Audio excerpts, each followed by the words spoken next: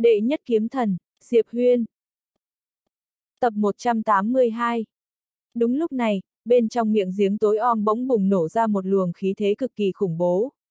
Ngay sau đó, một cô gái chậm rãi bay ra, tóc dài xóa tung, giữa chán nàng ta cũng có một chữ vạn kỳ lạ giống như người đàn ông áo đen kia. Không phải là một người. Hiện trường, sắc mặt đám người thiên yếm đều trở nên hết sức khó coi. Sau đó, một cô bé bỗng đi ra khỏi miệng giếng.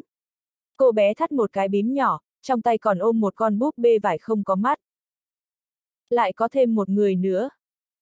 Thiên Yếm và Bích Tiêu thấy cảnh đó đều lộ ra vẻ mặt vô cùng khó coi.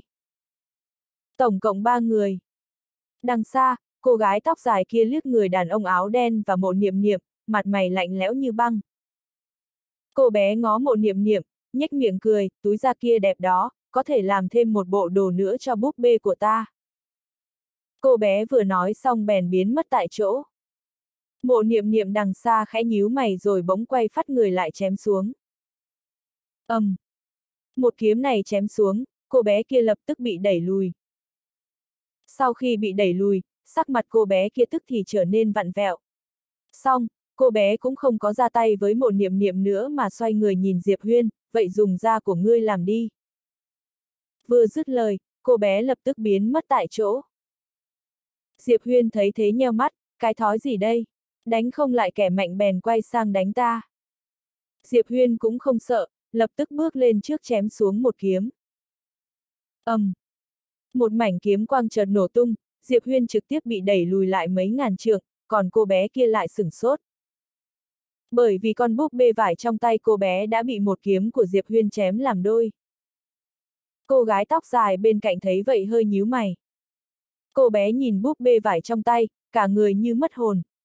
Sau đó, cô bé bỗng ngẩng phát đầu lên nhìn Diệp Huyên, con người đỏ tươi như máu hét a, a, a. Cô bé hét xong bèn nhảy một cái xông thẳng đến chỗ Diệp Huyên. Diệp Huyên đằng xa cao mày, người hét con khỉ chứ hét. Hắn nói xong cũng biến mất tại chỗ, sau đó, một luồng kiếm quang chợt xỏ xuyên qua hiện trường ầm, um. Một mảnh ánh kiếm chói mắt chợt sáng lên, kế tiếp Diệp Huyên lập tức bị chấn lùi lại. Sau khi dừng lại, Diệp Huyên bèn nhíu mày. Bởi vì hắn vẫn cảm thấy không thích hợp. Tuy ba người này có thực lực rất khủng bố, nhưng cũng không kinh khủng đến mức phải bảo Thanh Nhi ra mặt mà. Lẽ nào niệm tỷ đang nói giỡn với mình? Diệp Huyên nghĩ đến đây không khỏi nhìn về phía mộ niệm niệm ở đằng xa, bấy giờ, một cảm giác lo lắng không yên chợt xuất hiện ở sâu trong lòng hắn. Chấm chấm chấm. Niệm tỷ chắc chắn sẽ không nói đùa với mình. Nói cách khác, điều này chắc chắn có vấn đề. Đúng lúc này, cô bé kia bỗng xông về phía Diệp Huyên, thời không chỗ hắn trực tiếp bốc cháy. Diệp Huyên nhìn cô bé kia, chậm rãi nhắm mắt lại. Ngay sau đó, huyết mạch trong người hắn bắt đầu sôi lên sùng sục. Huyết mạch chi lực. Khi cô bé kia xông tới trước mặt Diệp Huyên thì hắn bỗng rút kiếm ra bổ thẳng xuống, một mảnh kiếm quang màu máu chợt bắn ra. ầm, um. Cô bé kia trực tiếp bị một kiếm đó đánh lùi lại mấy ngàn trượng. Lần này, sau khi cô bé dừng lại thì hơi ngơ ngác vì trên cánh tay đã có một vết kiếm sâu hóm. Bấy giờ, người đàn ông áo đen và mộ niệm niệm đằng xa bỗng nhiên dừng lại. Sau khi mộ niệm niệm dừng lại, nàng quay đầu liếc miệng giếng kia, hơi cau mày. Đằng xa, Diệp Huyên đang định nói chuyện thì mộ niệm niệm lại bỗng nhiên mở miệng, mấy người đi trước đi. Đi. Diệp Huyên ngó mộ niệm niệm, nàng cười nói, nghe ta đi.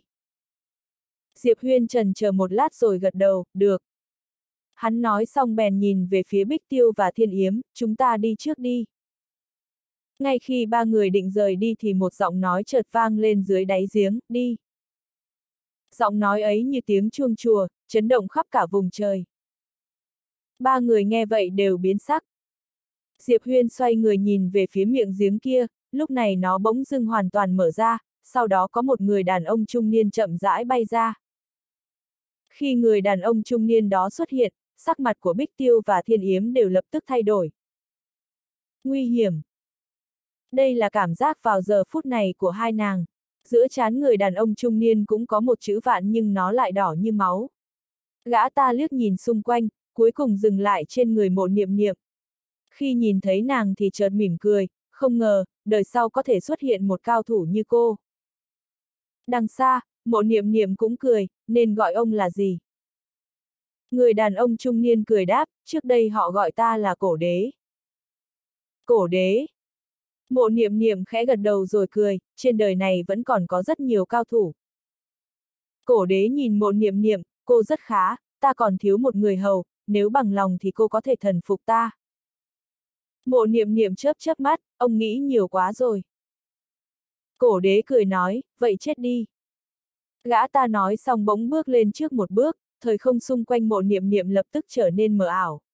Ngay sau đó, chúng trực tiếp biến thành một cái không gian đỏ như máu. Mộ niệm niệm híp mắt lại rồi rút kiếm ra chém xuống. Vèo.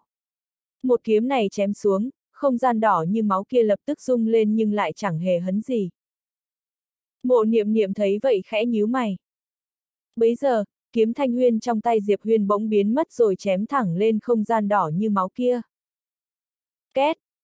Không gian đó rung lên rồi trực tiếp bị bổ ra. Nó vẫn có thể hoàn toàn làm lơ không gian đỏ như máu ấy.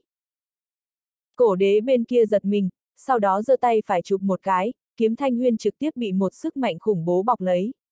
Thoáng chốc, nó đã xuất hiện trong tay cổ đế. Diệp Huyên thầm hoảng sợ, định gọi kiếm thanh huyên về. Thế nhưng, hắn lại giật mình phát hiện mình đã không cảm giác được nó nữa. Cổ đế nhìn kiếm thanh huyên cười khen, kiếm tốt, đặc biệt là mũi kiếm, có thể coi là thứ sắc bén nhất trên đời này. Cổ đế nhìn kiếm thanh huyên trong tay cười, có chút thú vị. Diệp huyên trầm giọng nói, các hạ, chúng ta không oán không thù. Cổ đế bỗng lắc đầu, trước đó đúng là không oán không thù, nhưng giờ thì có. Chúng ta đợi lâu như vậy, cuối cùng mảnh vũ trụ này mới khôi phục nguyên khí nên sẽ không từ bỏ. Đương nhiên, còn có những sinh linh như các ngươi. Diệp Huyên im lặng. Cắn nuốt vũ trụ. Đám người cổ đế này chuyên môn cắn nuốt vũ trụ và sinh linh để khiến mình mạnh hơn. Đây là một cách tu hành đặc biệt. Coi toàn bộ vũ trụ như một trại nuôi heo. Lúc này, cô bé bên cạnh bỗng nói, chủ nhân, ta muốn xé nát hắn. Cô bé nói xong bèn xông thẳng về phía Diệp Huyên. Diệp Huyên híp mắt lại nhưng không có ra tay, khi cô bé kia xông đến trước mặt thì hắn bỗng bước lên trước một bước. Thoáng chốc, một mảnh kiếm quang lập tức bao phủ lấy hắn và cô bé kia. Phương thốn kiếm vực. Chỉ trong phút chốc, Diệp Huyên và cô bé kia đã rơi vào vực sâu thời không của thời không thần bí, vô số kiếm khí nổ tung. Cô bé đấm thẳng một quyền về phía Diệp Huyên, nó đã trực tiếp chặn lại toàn bộ kiếm khí. Diệp Huyên bỗng mở tay ra, một thanh kiếm xuất hiện trong tay. Hắn cầm kiếm nhảy lên rồi chém thẳng xuống. ầm, um. Cô bé kia trực tiếp bị Diệp Huyên chém bay. Lúc này, cô gái tóc dài kia lại bỗng dưng biến mất. Khi nàng ta xuất hiện thì con người Diệp Huyên chợt co rút lại, vô số kiếm khí chợt bắn ra từ trong cơ thể hắn. Bấy giờ, có một ngón tay nhấn tới. ầm, um. Mảnh kiếm quang kia ầm ầm nổ tung, sau đó, ngón tay ấy trực tiếp nhấn vào ngực Diệp Huyên. ầm. Um. Diệp Huyên lập tức bay ngược ra ngoài, khi hắn dừng lại thì trước ngực đã có một hình cổ trùng nho nhỏ. Cô gái tóc dài nhìn Diệp Huyên nói, thử cảm nhận cái chết chút đi. Nàng ta vừa nói xong, dấu ấn hình cổ trùng kia chợt mất máy, sau đó Diệp Huyên bỗng mở to hai mắt. Hắn phát hiện cổ trùng đó thế mà lại tiến vào mạch máu định cắn nuốt máu mình. Ngay khi con cổ trùng đó nuốt một giọt máu của hắn thì nó giống như gặp phải chuyện gì rất đáng sợ, bắt đầu điên cuồng vặn vẹo muốn chạy ra khỏi cơ thể Diệp Huyên. Nhưng đã quá muộn rồi. ầm, um. Con cổ trùng đó trực tiếp bị máu của Diệp Huyên cắn nuốt ngược lại, kế tiếp nó chợt tỏa ra một luồng năng lượng cực kỳ khủng bố, mà chúng lại đều bị máu của hắn hấp thu. Cùng lúc đó, máu của hắn cũng sôi lên. Giờ phút này, khí thế trên người Diệp Huyên cũng điên cuồng tăng lên. Diệp Huyên thấy vậy sửng sốt. Đây là tặng thuốc bổ đến cho mình à? Cô gái tóc dài đằng xa nhíu mày, không thể nào. Cổ đế bên cạnh cười khẽ nói, huyết mạch của tên này rất đặc biệt, cổ trùng của ngươi không cắn nuốt được nó đâu. Cô gái tóc dài trầm giọng nói, điều này là không nên. Cổ đế cười, đúng là có hơi khó tính. ta cũng chưa từng thấy huyết mạch chi lực nào như thế này. Cô gái tóc dài nhìn Diệp Huyên, người nọ là của ta. Cô bé bên cạnh lại cả giận nói, hắn là của ta. Cô gái tóc dài liếc cô bé kia nói, ra hắn cho ngươi, máu cho ta, thế nào? Cô bé ngẫm nghĩ rồi đáp, được thôi. Lúc này, Thiên Yếm bỗng nói, các ngươi như vậy, hình như là không nể mặt kháo sơn vương quá rồi thì phải. Cô gái tóc dài nhìn về phía Thiên Yếm, Thiên Yếm nhàn nhạt nói, đừng trách ta không nhắc nhở các ngươi, tên kháo sơn vương này cũng không phải người bình thường. Khóe miệng cô gái tóc dài gợi lên vẻ châm chọc, người cảm thấy chúng ta là người bình thường sao? Vừa dứt lời, nàng ta bỗng bước lên trước một bước, nhấn một cái về phía Diệp Huyên. Đằng xa, Diệp Huyên híp mắt lại, nhảy lên rồi giơ kiếm chém xuống. Một kiếm này trực tiếp chém thẳng lên ngón tay của cô gái tóc dài kia. ầm, um. Kiếm nát, Diệp Huyên trực tiếp bị đánh bay ra ngoài mấy nghìn trượng. Khi hắn dừng lại thì một cái bóng chợt lóe lên giữa sân, nơi nó đi qua, thời không lập tức bị xé rách. Con người Diệp Huyên co rút lại, huyết mạch trong cơ thể bỗng dưng sôi lên. Ngay sau đó, trong tay hắn chợt xuất hiện một thanh huyết kiếm. Nó được làm từ chính máu của hắn. Dùng máu làm kiếm. Diệp Huyên đút kiếm vào vỏ rồi rút mạnh ra. Vèo. Giờ phút này, nó vừa được rút ra thì không ngờ thời không xung quanh lại trực tiếp bị xé rách. ầm. Um. Khi một kiếm này bổ xuống, cô gái tóc dài lập tức bị đánh lui lại, vừa lùi đã lùi cả mấy vạn trượng. Song khi nàng ta dừng lại đã rơi vào một mảnh vực sâu thời không thần bí, mà trên người nàng ta lại có chi chít cả trăm luồng kiếm khí màu máu trông cực kỳ đáng sợ. Thiên Yếm và Bích Tiêu thấy cảnh đó đều lộ ra vẻ mặt nghiêm trọng. Sức chiến đấu bây giờ của Diệp Huyên có chút khoa trương. Tuy hắn không phải người vẽ vòng, nhưng người vẽ vòng bình thường đã không phải đối thủ của hắn. Đừng nói người vẽ vòng, một số người vòng trong cũng chưa chắc đánh thắng được hắn. Lúc này, Bích Tiêu đột nhiên hỏi, Thiên Yếm, cô thấy thế nào? Thiên Yếm liếc Bích Tiêu, thấy thế nào là sao? Bích Tiêu cười, lẽ nào cô cho rằng mục tiêu của họ chỉ là tên Kháo Sơn Vương và nữ kiếm tu kia? Thiên Yếm nhíu mày. Bích Tiêu ngó Thiên Yếm, nếu Kháo Sơn Vương và nữ kiếm tu kia rời đi thì cô nói xem sẽ thế nào? Thiên Yếm im lặng. Audio điện tử võ tấn bền. Mục tiêu của đám người cổ đế kia là mảnh vũ trụ trụ nguyên giới, nếu Diệp Huyên và nữ kiếm tu kia rời đi thì chắc chắn họ sẽ là mục tiêu kế tiếp của đám người kia. Bích tiêu lạnh nhạt nói, giờ chúng ta nhìn hắn bị đánh nhưng lát nữa có thể là hắn xem chúng ta bị đánh. Bởi vì, hắn không phải người của chủ nguyên giới, cũng không có người thân gì ở đây. Hắn hoàn toàn có thể mặc kệ nơi này, mà chúng ta lại không thể thế được, nơi này là nhà của chúng ta, không phải sao. Hơn nữa, hồi đó thiên khí tộc cô còn bị đám người kia tiêu diệt, cô cảm thấy họ sẽ tha cho thiên khí tộc cô sao? Thiên Yếm lạnh mặt không đáp. Cô gái tóc dài đằng xa bỗng nhiên ngẩng đầu lên liếc Diệp Huyên, ngươi làm ta rất tức giận. Diệp Huyên nhếch miệng cười, muốn đánh thì đánh, có thể đừng làm ra vẻ trước mặt ta đây không?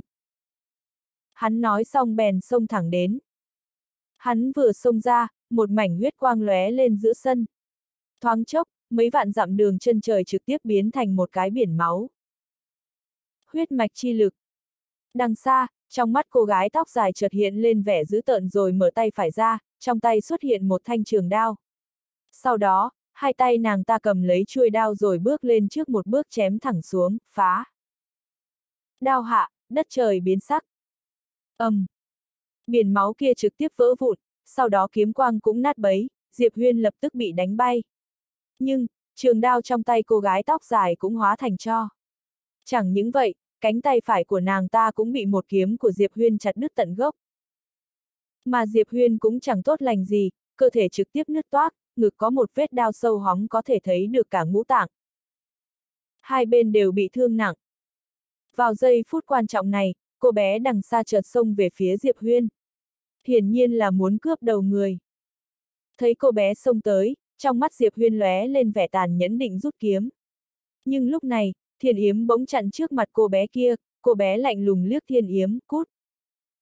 Thiên Yếm biến mất khỏi tại chỗ, con người cô bé chợt co rút lại, hai tay lập tức giơ lên đón đỡ. ầm, um. cô bé kia trực tiếp bị một quyền của thiên yếm đánh bay ra mấy ngàn trượng.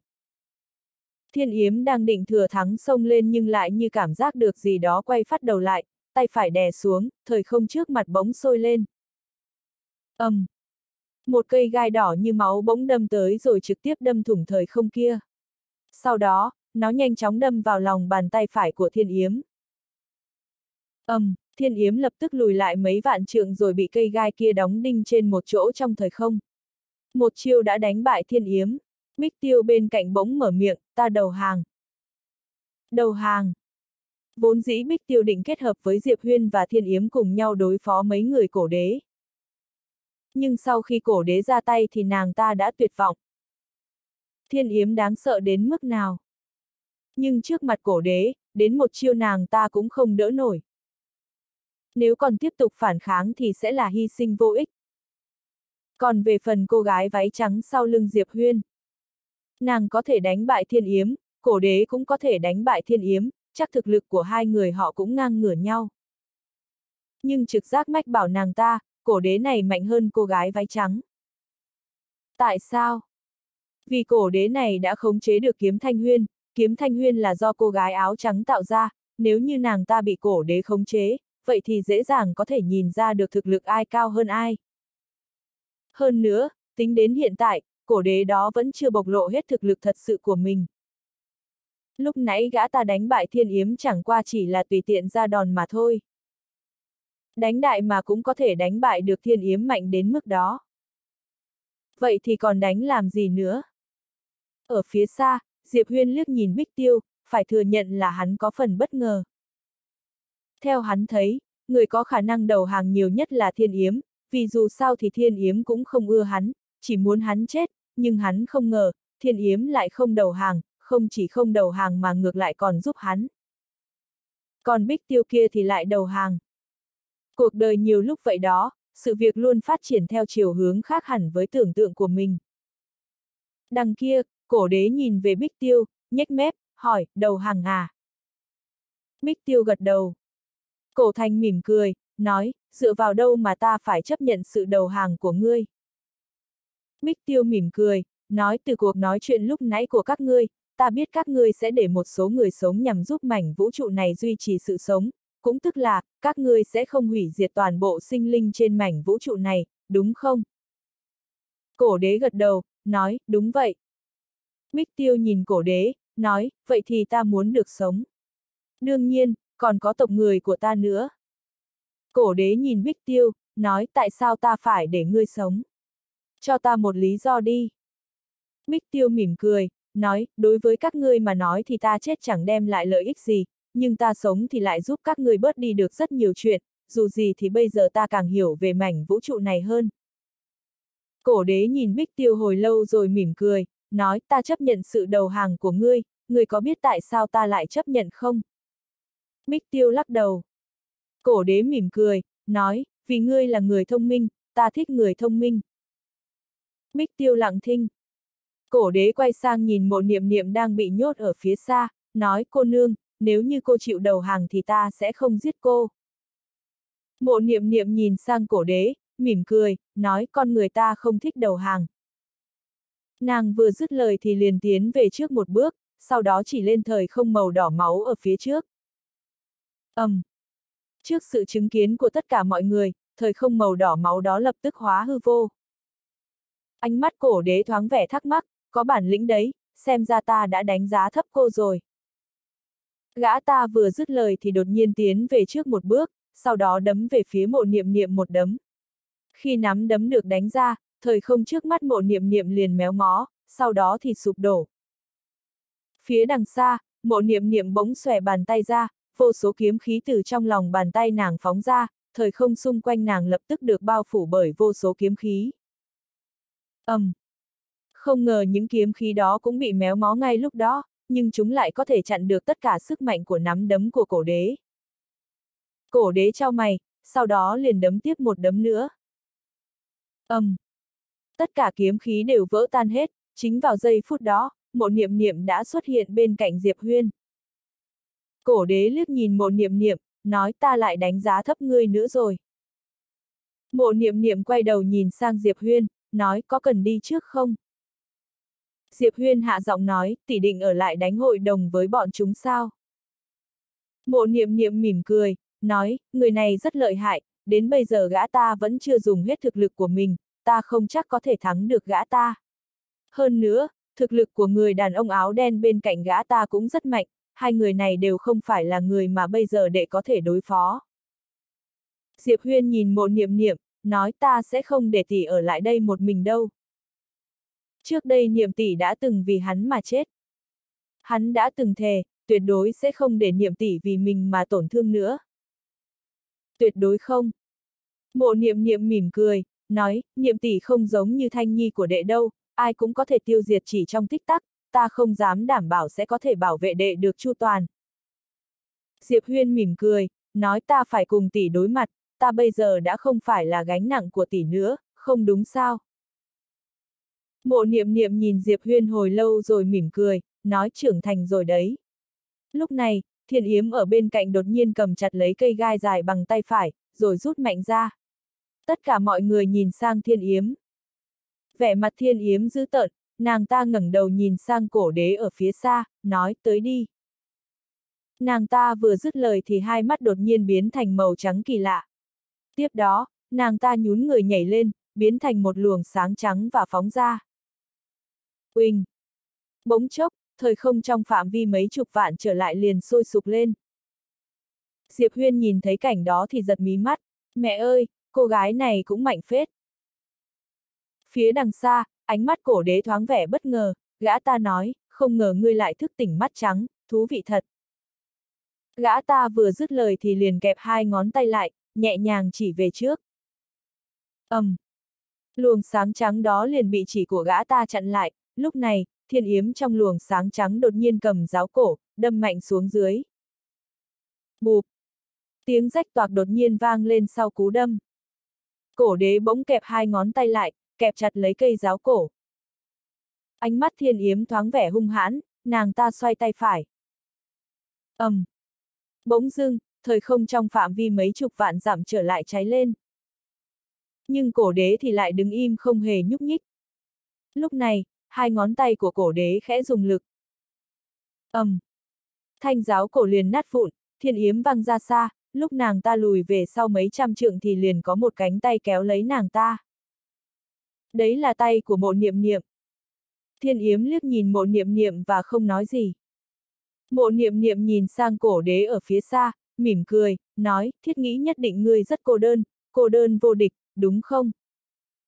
Ánh mắt cổ đế thoáng vẻ kỳ lạ, gã ta nói, phải thừa nhận rằng ta rất thích ngươi, ngươi không chỉ có thực lực mạnh mà còn rất thông minh. Mộ niệm niệm mỉm cười, nói ta có quen một người, thực lực của người đó rất mạnh, ta nghĩ người đó có thể sẽ khiến ngươi rất hứng thú. Cổ đế mỉm cười, nói, vậy sao? Mộ niệm niệm gật đầu, nói, đúng vậy. Cổ đế nhìn mộ niệm niệm, nói, vậy ta cũng muốn gặp thử xem. Mộ niệm niệm mỉm cười, nói ta dắt ngươi đi tìm người đó. Cổ đế mỉm cười, nói, vậy thì làm phiền ngươi vậy. Lúc này, bỗng dưng Bích Tiêu ở bên cạnh nói, các hạ, có thể người này có ý đồ xấu. Mộ niệm niệm nhìn sang Bích Tiêu, mỉm cười, nói cô nương rất thông minh, cũng rất biết ấp phe, nhưng cô nương à, cô vốn không hiểu tâm tư của cổ đế, đối với cao thủ tầm cỡ như gã ta, thì bị đánh bại là thứ cầu mà không được. Bích tiêu nhìn mộ niệm niệm và không nói gì. Cổ đế đứng bên cạnh, mỉm cười, nói cô nương nói không sai, bao năm nay ta cũng đã đi qua vài vũ trụ, nhưng không hề tìm thấy đối thủ, nếu thật sự có người có thể đánh bại ta thì đối với ta mà nói thật sự không phải chuyện xấu gì. Mộ niệm niệm mỉm cười, nói, vậy chúng ta đi thôi. Nàng nói xong thì kéo lấy tay của Diệp Huyên rồi quay đầu bỏ đi. Mộ niệm niệm dường như nhớ ra điều gì đó, nàng lại nhìn sang thiên yếm, nói cô nương thiên yếm, cô cũng đi cùng đi. Thiên yếm im lặng một lúc rồi cũng đi theo sau. Phía đằng xa, cổ đế mỉm cười, sau đó dắt theo vài người bên cạnh đi theo Diệp Huyên và mộ niệm niệm. Bích tiêu im lặng một lúc lâu rồi cũng đi theo. Cô gái váy trắng thật sự mạnh hơn cổ đế này sao? Nàng ta không biết. Nàng ta chỉ biết bây giờ nàng ta đã không còn đường lui nữa rồi. Lựa chọn ban nãy như một canh bạc, cược cổ đế mạnh hơn cô gái váy trắng. Nếu nàng ta cược thắng thì nàng ta và tộc thần hoang sẽ có thể tiếp tục sống, không chỉ có vậy, còn có thể trở thành chủng tộc duy nhất có thể sống sót toàn bộ ở chủ nguyên giới này. Đến lúc đó, cả chủ nguyên giới sẽ là thiên hạ của tộc thần hoang. Nhưng nếu như cược thua, Bích Tiêu không dám nghĩ tiếp nữa. Ở phía xa, Diệp Huyên bỗng nhiên hỏi, niệm tỷ, chúng ta sắp đến giải ngân hà sao? Mộ niệm niệm quay đầu nhìn sang Diệp Huyên, nói, đến giải ngân hà làm gì? Diệp Huyên hạ giọng đáp, không phải đi tìm Thanh Nhi sao? Mộ niệm niệm lắc đầu, nói, không. Diệp Huyên ngây ra, sau đó nói, vậy chúng ta đi tìm ai? Lẽ nào là cha, hay là đại ca, tỷ biết họ ở đâu sao? Mộ niệm niệm lắc đầu, đáp không biết. Diệp Huyên nghe vậy thì không biết nói gì. Không phải tìm Thanh Nhi, cũng không phải tìm cha và đại ca, vậy niệm tỷ định tìm ai? Còn ai có thể giết được cổ đế này? Lúc này, mộ niệm niệm đột nhiên mỉm cười, nói, đừng suy nghĩ nhiều nữa, đệ sẽ biết ngay thôi. Thiên Yếm ở bên cạnh đột nhiên nói, các hạ, hình như thực lực của cô không kém hơn cổ đế. Mộ niệm niệm mỉm cười, đáp cô đánh giá gã ta quá đơn giản rồi. Thiên Yếm trao mày, đáp ý gì hả? Diệp Huyên cũng nhìn mộ niệm niệm với vẻ tò mò, thật ra hắn có thể cảm nhận được chắc niệm tỷ không thua cổ đế đó, nhưng niệm tỷ lại không có ý muốn đánh nhau với gã ta. Lúc này, mộ niệm niệm đột nhiên nói, các ngươi không nhìn ra được cũng là chuyện bình thường, dù gì thì thực lực bây giờ của gã ta đã vượt xa phạm trù của trụ nguyên giới, thần hồn cũng như ý thức của gã ta đã hòa làm một với trụ nguyên giới này. Nói một cách đơn giản, trước đây, lúc gã ta nuốt sinh linh chi khí của mảnh vũ trụ này, gã ta đã hủy đi thiên đạo của trụ nguyên giới ở đây, còn bản thân gã ta thì lại trở thành thiên đạo. Không chỉ có vậy, gã ta còn mạnh hơn rất nhiều so với thiên đạo trước đó. Muốn đánh nhau với gã ta trừ khi đánh sập luôn cả trụ nguyên giới này, nếu không thì mãi mãi cũng không thể giết được gã ta. Nhưng nếu muốn đánh sập, đánh tan cả trụ nguyên giới đó thì đồng nghĩa với việc vô số sinh linh bên trong cũng sẽ bị hủy diệt, hiểu chưa hả? Thiên Yếm hạ giọng nói, nói như vậy, nếu như gã ta đứng trong trụ nguyên giới, thì đồng nghĩa với việc sẽ không có đối thủ. Mộ niệm niệm mỉm cười, đáp có thể hiểu như vậy, vì gã ta sẽ không cho cô cơ hội đánh tan trụ nguyên giới. Diệp Huyên vẫn còn muốn nói gì đó nhưng lúc này mộ niệm niệm đột nhiên nói, chúng ta đến rồi. Diệp Huyên nghe thấy thì dừng lại, nhìn về phía xa, ở cách đó không xa có một ngôi nhà cỏ, trước ngôi nhà có một vườn hoa. Vị đại thần nào sống ở đây thế? Diệp Huyên hơi tò mò. Đúng lúc này, cánh cửa ngôi nhà tranh bật mở, để một người phụ nữ bước ra. Bà ấy mặc váy dài đơn giản, tóc để xóa vai, trông điềm đạm thanh nhã. Diệp Huyên biết người này. Chính là Đinh cô nương. Bà ấy nhìn thấy mộ niệm niệm thì thoáng ngẩn ra, hiển nhiên không ngờ nàng sẽ đến. Mộ niệm niệm đi vào vườn, cười hỏi, không quấy rầy cô chứ. Đinh cô nương liếc nhìn đám cổ đế đứng một bên, mỉm cười đáp xin tự nhiên. Bà đặt giỏ hoa trong tay xuống, quay sang Diệp Huyên, đến đây. Diệp Huyên trần trừ một hồi mới bước đến, nghe đinh cô nương hỏi, có hận cha ngươi không? Hắn chớp mắt, không dám. Đinh cô nương lắc đầu cười, không dám, nghĩa là trong lòng có hận. Diệp Huyên không nói gì. Hắn không phải dạng không não như tiểu tháp mà cái gì cũng dám nói. Cha mà ra tay thì không phải chuyện đùa, đã vậy còn không thể trả thù lại. Cha đánh con còn không phải chuyện thiên kinh địa nghĩa sao? Ninh cô nương bỗng vươn tay chỉ vào một cọng cỏ nhỏ gần đó, người thấy nó không? Diệp Huyên nhìn theo nhưng không hiểu ý. Ninh cô nương cười, nhánh cỏ này đã trải qua vô số bão táp mưa xa, không chỉ sống sót mà còn phát triển mãnh liệt.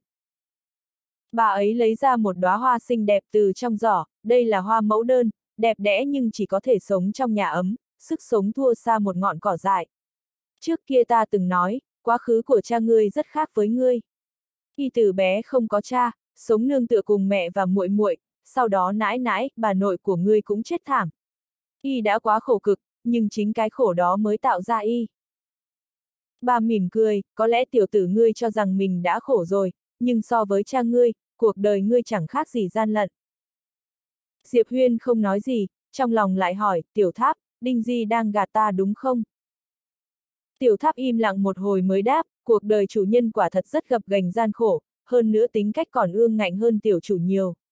Trông ngài ấy bây giờ hòa nhã dễ gần, ngày thường hi hi ha ha, đó là vì ngài ấy đã không còn đối thủ nữa. Chứ trước kia ngài ấy nếu không đánh nhau thì cũng đang chuẩn bị đánh nhau. Thiêu đốt thân xác hay linh hồn là chuyện bình thường như cơm bữa. Còn tiểu chủ, nói thật, tuy kẻ địch của người đều không bình thường cho lắm, nhưng bọn chúng cũng đâu phải do người đánh. Mỗi lần người chơi liều đến khi còn nửa cái mạng đều sẽ có người đến giúp. Diệp Huyên cau mày, người có ý gì? Đang bảo ta là con ông cháu cha à? Tiểu tháp, hỏi một câu làm cạn lời ghê. Chẳng lẽ không phải? Diệp Huyên. Tiểu tháp tiếp tục, điểm giống nhau giữa người và chủ nhân là cả hai người đều tự vứt thể diện, mà người thì nâng nó lên một tầm cao mới. Diệp Huyên. Tiểu tháp, tính tình hai người cũng khác. Chủ nhân trước kia cực đoan lắm, mỗi khi kích hoạt huyết mạch thì người phe mình cũng chém. Mà tiểu chủ kích hoạt xong thì, làm màu hệt như say rượu vậy. Với lại cả ngày người không khoe mẽ thì cũng phô trương. Chắc đây là cuộc sống của con ông cháu cha ha. Diệp Huyên. Ninh cô nương lại mở miệng, y mong người chịu khổ một chút là có ý tốt, chỉ là phương pháp không đúng, nguyên do là vì y không giỏi giao tiếp.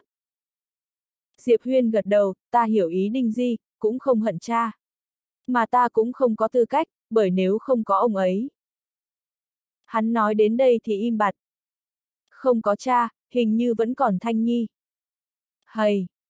Cái cuộc sống chết tiệt này. Ninh cô nương hiển nhiên cũng biết Diệp Huyên đang nghĩ gì, không khỏi lắc đầu cười.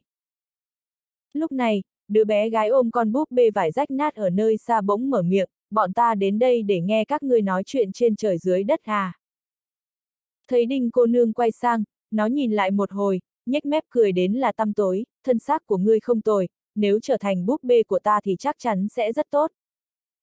Ninh cô nương cười, e rằng ngươi sẽ không có cơ hội ấy. Con bé đang định mở miệng thì đã nghe tiếng tiểu tháp vang lên, oát con cẩn thận cái mồm. nghi có thể hạ nhục tiểu chủ, nhưng động đến nữ chủ nhân nhà ta thì liệu hồn. Mặt Diệp Huyên đen xì như nước cống. Tiểu tháp đang nói cái mẹ gì vậy? Con bé liếc nhìn bụng hắn đầy châm chọc, mi là cái thá gì mà đòi nói chuyện với ta. Tiểu tháp thở dài, con ngu này y trang tên Thiên Diệp hồi trước, có phải y gọi ngươi đến không? Diệp Huyên. Con nhóc nhíu mày, Thiên Diệp, là miếng rác nào, sánh được với ta sao? Tiểu tháp. Lúc này, cổ đế đứng một bên bật cười, cô nương, người mà cô nói đâu? Người. Con nhóc lộ ra vẻ trào phúng, chỉ tổ lãng phí thời gian mà thôi. Nó nhếch mép cười nhạt với đinh cô nương, người nói sẽ gọi người đến mà, gọi đi chứ, bọn ta đang đợi đây. Đinh cô nương chỉ cười, được. Dứt lời, bà lấy ra một thanh kiếm gỗ, khẽ mỉm cười với nó. Một khắc sau, huyền khí ùa vào thanh kiếm. Kiếm khẽ run lên, sau đó. ầm, um, thời không ở chân trời nứt toát ra khi một tia kiếm quang thẳng tắp lao xuống, để lộ thân hình một người đàn ông áo xanh. Nháy mắt đã đến rồi. Khóe miệng Diệp Huyên không khỏi giật giật khi thấy cảnh này. Xem ra địa vị của Đinh Di trong lòng cha cũng cao phết. Gọi một cái là đến liền. Thấy người đàn ông áo xanh xuất hiện, cổ đế nheo mắt lại. Bích tiêu thì nhíu mày. Cảm thấy một nỗi bất an dâng lên trong lòng. Nhưng điều khiến bà ta cảm thấy hoài nghi là vì sao người đến lại không phải cô gái váy trắng. Người đàn ông áo xanh đi đến trước đinh cô nương, mỉm cười hỏi, không sao chứ? Bà lắc đầu, ta không sao. Y lại quay sang Diệp Huyên, con cũng ở đây à? Diệp Huyên câm nín, cứ tưởng cha không thấy con luôn rồi chứ. Tiểu tháp bỗng bay ra đến trước mặt người đàn ông áo xanh, chủ nhân. Ban nãy con danh kia mắng nữ chủ nhân đó. Diệp Huyên đen mặt, má, bây giờ còn biết đi mách lẻo nữa. Lời của tiểu tháp khiến đôi mắt người đàn ông áo xanh nheo lại, nhìn con nhóc ôm búp bê, nó mắng nàng sao thực dược. Ninh thực dược khẽ cười, trẻ con mà, không hiểu chuyện là bình thường. Người đàn ông áo xanh nhẹ nhàng lặp lại, không hiểu chuyện. Con nhóc lạnh lùng nhìn người đàn ông áo xanh, ta mắng mụ thì sao? Mi cắn ta chắc. Người đàn ông áo xanh ngẩn ra, phách lối dữ. Con nhóc toàn mở miệng thì đã bị một thanh kiếm bất thình lình đâm xuyên yết hầu. ầm, um. Thân thể nó bị đóng đinh tại chỗ, máu tươi ọc ra từ mồm, không cách nào nói chuyện. Cảnh tượng này khiến những người khác biến sắc. Một tia nghiêm trọng hiếm thấy xuất hiện trong mắt cổ đế khi nhìn người đàn ông áo xanh. Sắc mặt bích tiêu trở nên khó coi. Người đàn ông áo xanh nhìn con nhóc cười khẩy, thế thôi à? Mọi người. Con nhóc quắc mắt chừng lại, đang muốn cựa quậy thì phát hiện mình không nhúc nhích được. Cổ đế bỗng lên tiếng, các hạ chỉ biết ức hiếp con trẻ thôi sao? Người đàn ông áo xanh quay lại nhìn gã, khẽ ngoắc ngón tay. Thanh kiếm trong vỏ bất ngờ bay ra khiến đồng tử cổ đế rụt lại. Gã bước về trước, tung cú đấm ra. Thời không trong chu vi mấy triệu dặm nứt vỡ, để vô số nguồn sức mạnh bí ẩn tràn ra như sóng thần vỡ đê, hội tụ vào quả đấm của cổ đế. Cú đấm mang theo lực lượng của vị diện thời không. Có thể nói rằng, cổ đế giờ phút này đã hòa làm một cùng vô số vị diện thời không. Để đánh bại gã ta, chỉ có thể dùng sức mạnh càng nhiều hơn lực lượng vị diện thời không này. Mà lúc này, kiếm của người đàn ông áo xanh đã lao tới. Dưới con mắt của mọi người, nó cắt phăng luồng sức mạnh kia dễ dàng như sắt đậu hũ, sau đó đâm phập vào nắm tay cổ đế. Xoẹt! Đâm luôn vào thân thể cổ đế. ầm, um. Cổ đế run lên bần bật, lực lượng trào ra như một quả bóng xì hơi. Những người khác ngây ra như phỗng. Cổ đế vậy mà bị giết chỉ trong một kiếm. Chỉ trong nháy mắt. Cô gái tóc dài và người áo đen đứng cạnh cổ đế cũng đã hóa đá. Bọn họ đã đi theo gã ta từ rất lâu trước đây, xem cổ đế như một huyền thoại bất bại. Vô địch chân chính. Năm ấy cổ đế chỉ cần ra tay một lần là đã có thể tiêu diệt chủ nguyên giới, dùng một chiêu để hạ gục cường giả đứng đầu chủ nguyên giới. Kể từ đó về sau, gã ta không còn ra tay nữa. Bởi không có ai đáng để gã phải ra tay. Nhưng giờ đây, cổ đế lại bị người khác giết chết chỉ bằng một đường kiếm. Một khắc kia, sắc mặt bích tiêu trắng bệch như giấy. Đầu óc trống giống như bị xét bổ. Kinh khủng như cổ đế lại gục chỉ sau một kiếm ư. Bà ta biết mình thua rồi. Thiên yếm bên kia cũng không nhìn được mà nhìn Diệp Huyên. Mẹ nó chứ, kháo sơn vương này vô địch thật. Mà cổ đế cũng ngây ngẩn, không ngờ mình lại bị người khác giết trong một kiếm. Người đàn ông áo xanh khiến gã ta cảm giác được nguy hiểm, vì vậy không hề nương tay khi tung ra cú đấm kia. Gã ta lại không ngờ rằng kiếm của đối phương lại khủng khiếp đến độ có thể phá nát cú đấm của mình. Người đàn ông áo xanh liếc gã, chỉ thế thôi à? Mọi người.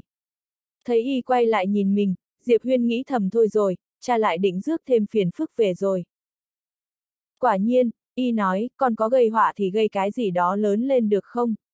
Nhìn mấy tên kẻ địch này đi, yếu như sen, lần nào ta đến cũng chỉ cần một kiếm là xong chuyện. Có biết là chán lắm không? Y thoáng dừng lại, nó nhảm nhí hệt như phải chạy hết cả trăm triệu tinh vực chỉ để bóp chết một con kiến vậy. Phát bực. Mọi người. Những lời này của người đàn ông áo xanh khiến sắc mặt mọi người trở nên kỳ lạ. Kinh khủng như cổ đế vậy mà cũng chỉ như con kiến trong mắt y ư. Một con kiến mà thôi. Thiên yếm bắn sang một ánh mắt ghét bỏ. Quả nhiên là cha con, đều thích làm ra vẻ giống nhau. Nhưng mà gã cha thì trâu bò thật. Diệp Huyên giờ phút này thật sự không nói được gì hết cảm giác cha khoe khoang còn mình chỉ biết im lặng đứng nhìn này không vui chúng nào. Bên kia, cổ đế dương đôi mắt mịt mờ nhìn người đàn ông áo xanh, ngươi. Ngươi là ai? Y nhìn gã ta rồi chỉ vào Diệp Huyên, người biết nó là con trai ta không? Cổ đế lắc đầu. Người đàn ông áo xanh, đã biết mà còn dám đánh nó. Cổ đế nở ra, ngươi không thấy ta lắc đầu hả? Ta mà biết cha hắn kinh khủng như vậy thì có chết cũng không dám ra tay. Gã ta tuy tự tin nhưng đó chỉ là khi đối mặt với người thường, còn khi đứng trước người đàn ông áo xanh này, chút tự tin ấy đều hóa thành mây trôi. Thấy người đàn ông áo xanh định ra tay, mộ niệm niệm lên tiếng, gã ta đã hòa làm một thể với vũ trụ này, nếu giết gã thì vũ trụ. Người đàn ông áo xanh chỉ cười, chuyện nhỏ. Người áo đen đứng bên cổ đế bỗng thốt lên, các hạ, chúng ta đến từ ma mạch. Người đàn ông áo xanh nhìn ông ta, ma mạch. Người áo đen, lấy thực lực của các hạ, hẳn đã từng nghe qua. Người đàn ông áo xanh lại lắc đầu, chưa hề. Người áo đen cau mày, sao có thể? Sao ngươi có thể chưa từng nghe qua ma mạch? Người đàn ông áo xanh cười, người đang muốn nói người có chống lưng mạnh chứ gì? Người áo đen, phải. Ông ta biết phải khiến người này có điều kiêng kỵ, bằng không tất cả chỉ có chết. Người đàn ông áo xanh lại cười, có chống lưng tốt thật nhỉ. Y thoáng dừng lại, không như ta, vô địch rồi nên chả cần dựa vào ai nữa. Ôi chao! Mọi người! Diệp Huyên đen cả mặt. Bà mẹ nó luôn. Sao cha mình giờ làm màu dữ dội thế? Người áo đen kia lại nói, các hạ thật sự chưa từng nghe về ma mạch.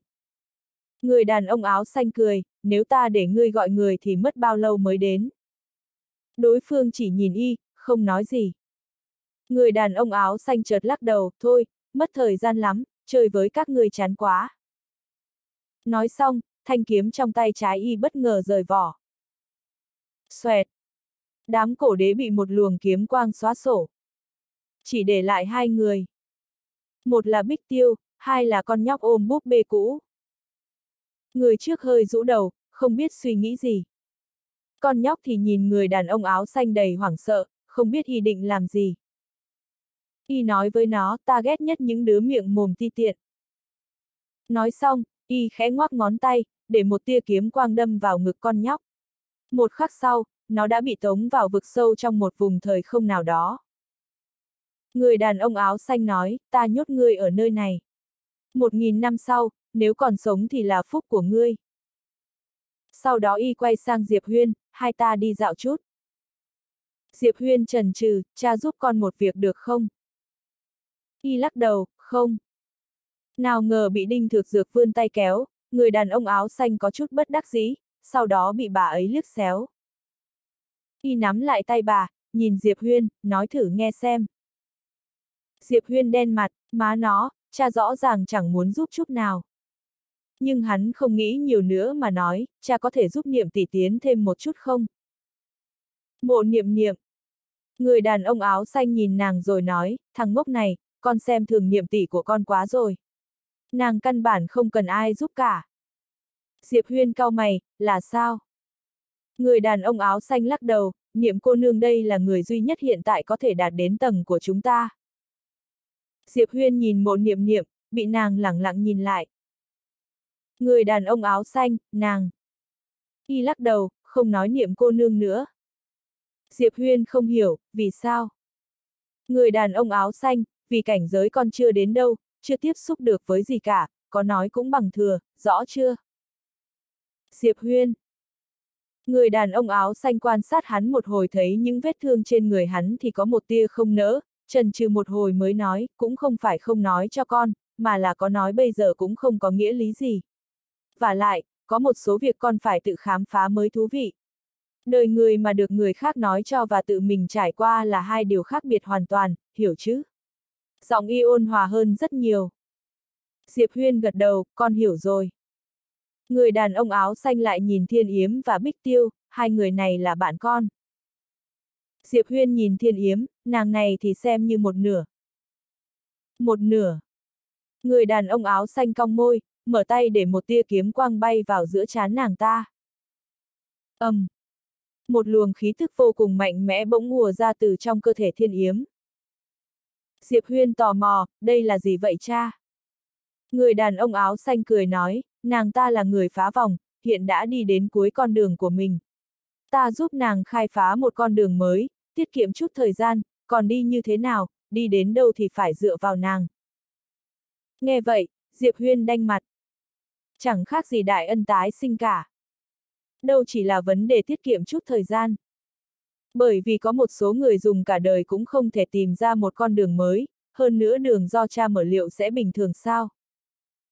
Tuyệt đối không. Thiên Yếm sắp tiến bộ thần tốc rồi. Mích tiêu bên kia nhìn người đàn ông áo xanh, không biết đang nghĩ gì. Người đàn ông áo xanh nói, chúng ta đi. Diệp Huyên gật đầu, vâng. Hai người cất bước đi. Trên đường, người đàn ông áo xanh cười hỏi, có biết chúng ta đang ở đâu không? Diệp Huyên trần trừ rồi nói, tiểu tháp nói cha đang đi bừa. Tiểu tháp trong người hắn ngây ra như phỗng. Đậu má. Nó có từng nói vậy hả? Tiểu chủ méo phải người. Người đàn ông áo xanh cười nói, là con nghĩ chứ gì? Diệp Huyên. Tiểu tháp thở phào nhẹ nhõm, may là chủ nhân còn có não, bằng không chắc nó ăn đòn tởn tới già. Tiểu chủ này thâm độc quá, sau này phải đề phòng mới được. Diệp Huyên hỏi, cha nói cho con biết đi, bây giờ con còn cách mọi người xa không? Hoặc là giữa con và mọi người còn bao nhiêu cảnh giới nữa, để con chuẩn bị tâm lý chút. Người đàn ông áo xanh không đáp. Diệp Huyên cau mày, đừng nói cha cũng không biết đấy chứ. Y cười, thật ra thì vũ trụ này cũng mắc dịch lắm.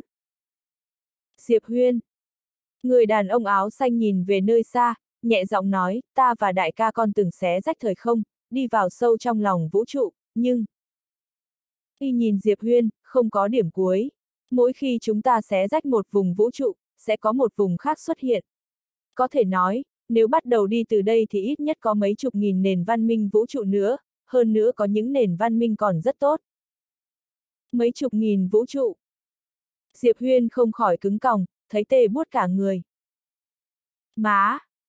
Thế này thì điên mất. Người đàn ông áo xanh bỗng cười, nhưng thật ra vậy cũng tốt, có biết vì sao không? Diệp Huyên nhìn y, chỉ thấy y nhìn vào lòng vũ trụ, nếu đi đến cuối vũ trụ mà không phát hiện thấy cường giả nào, thì ba chúng ta ắt sẽ đánh nhau một trận. Y nhìn Diệp Huyên, cả ba đều được xưng là vô địch, nhưng ai mới thật sự mạnh nhất thì cần phải đánh mới biết được. Sau một hồi im lặng, Diệp Huyên hỏi, cha cho rằng là ai?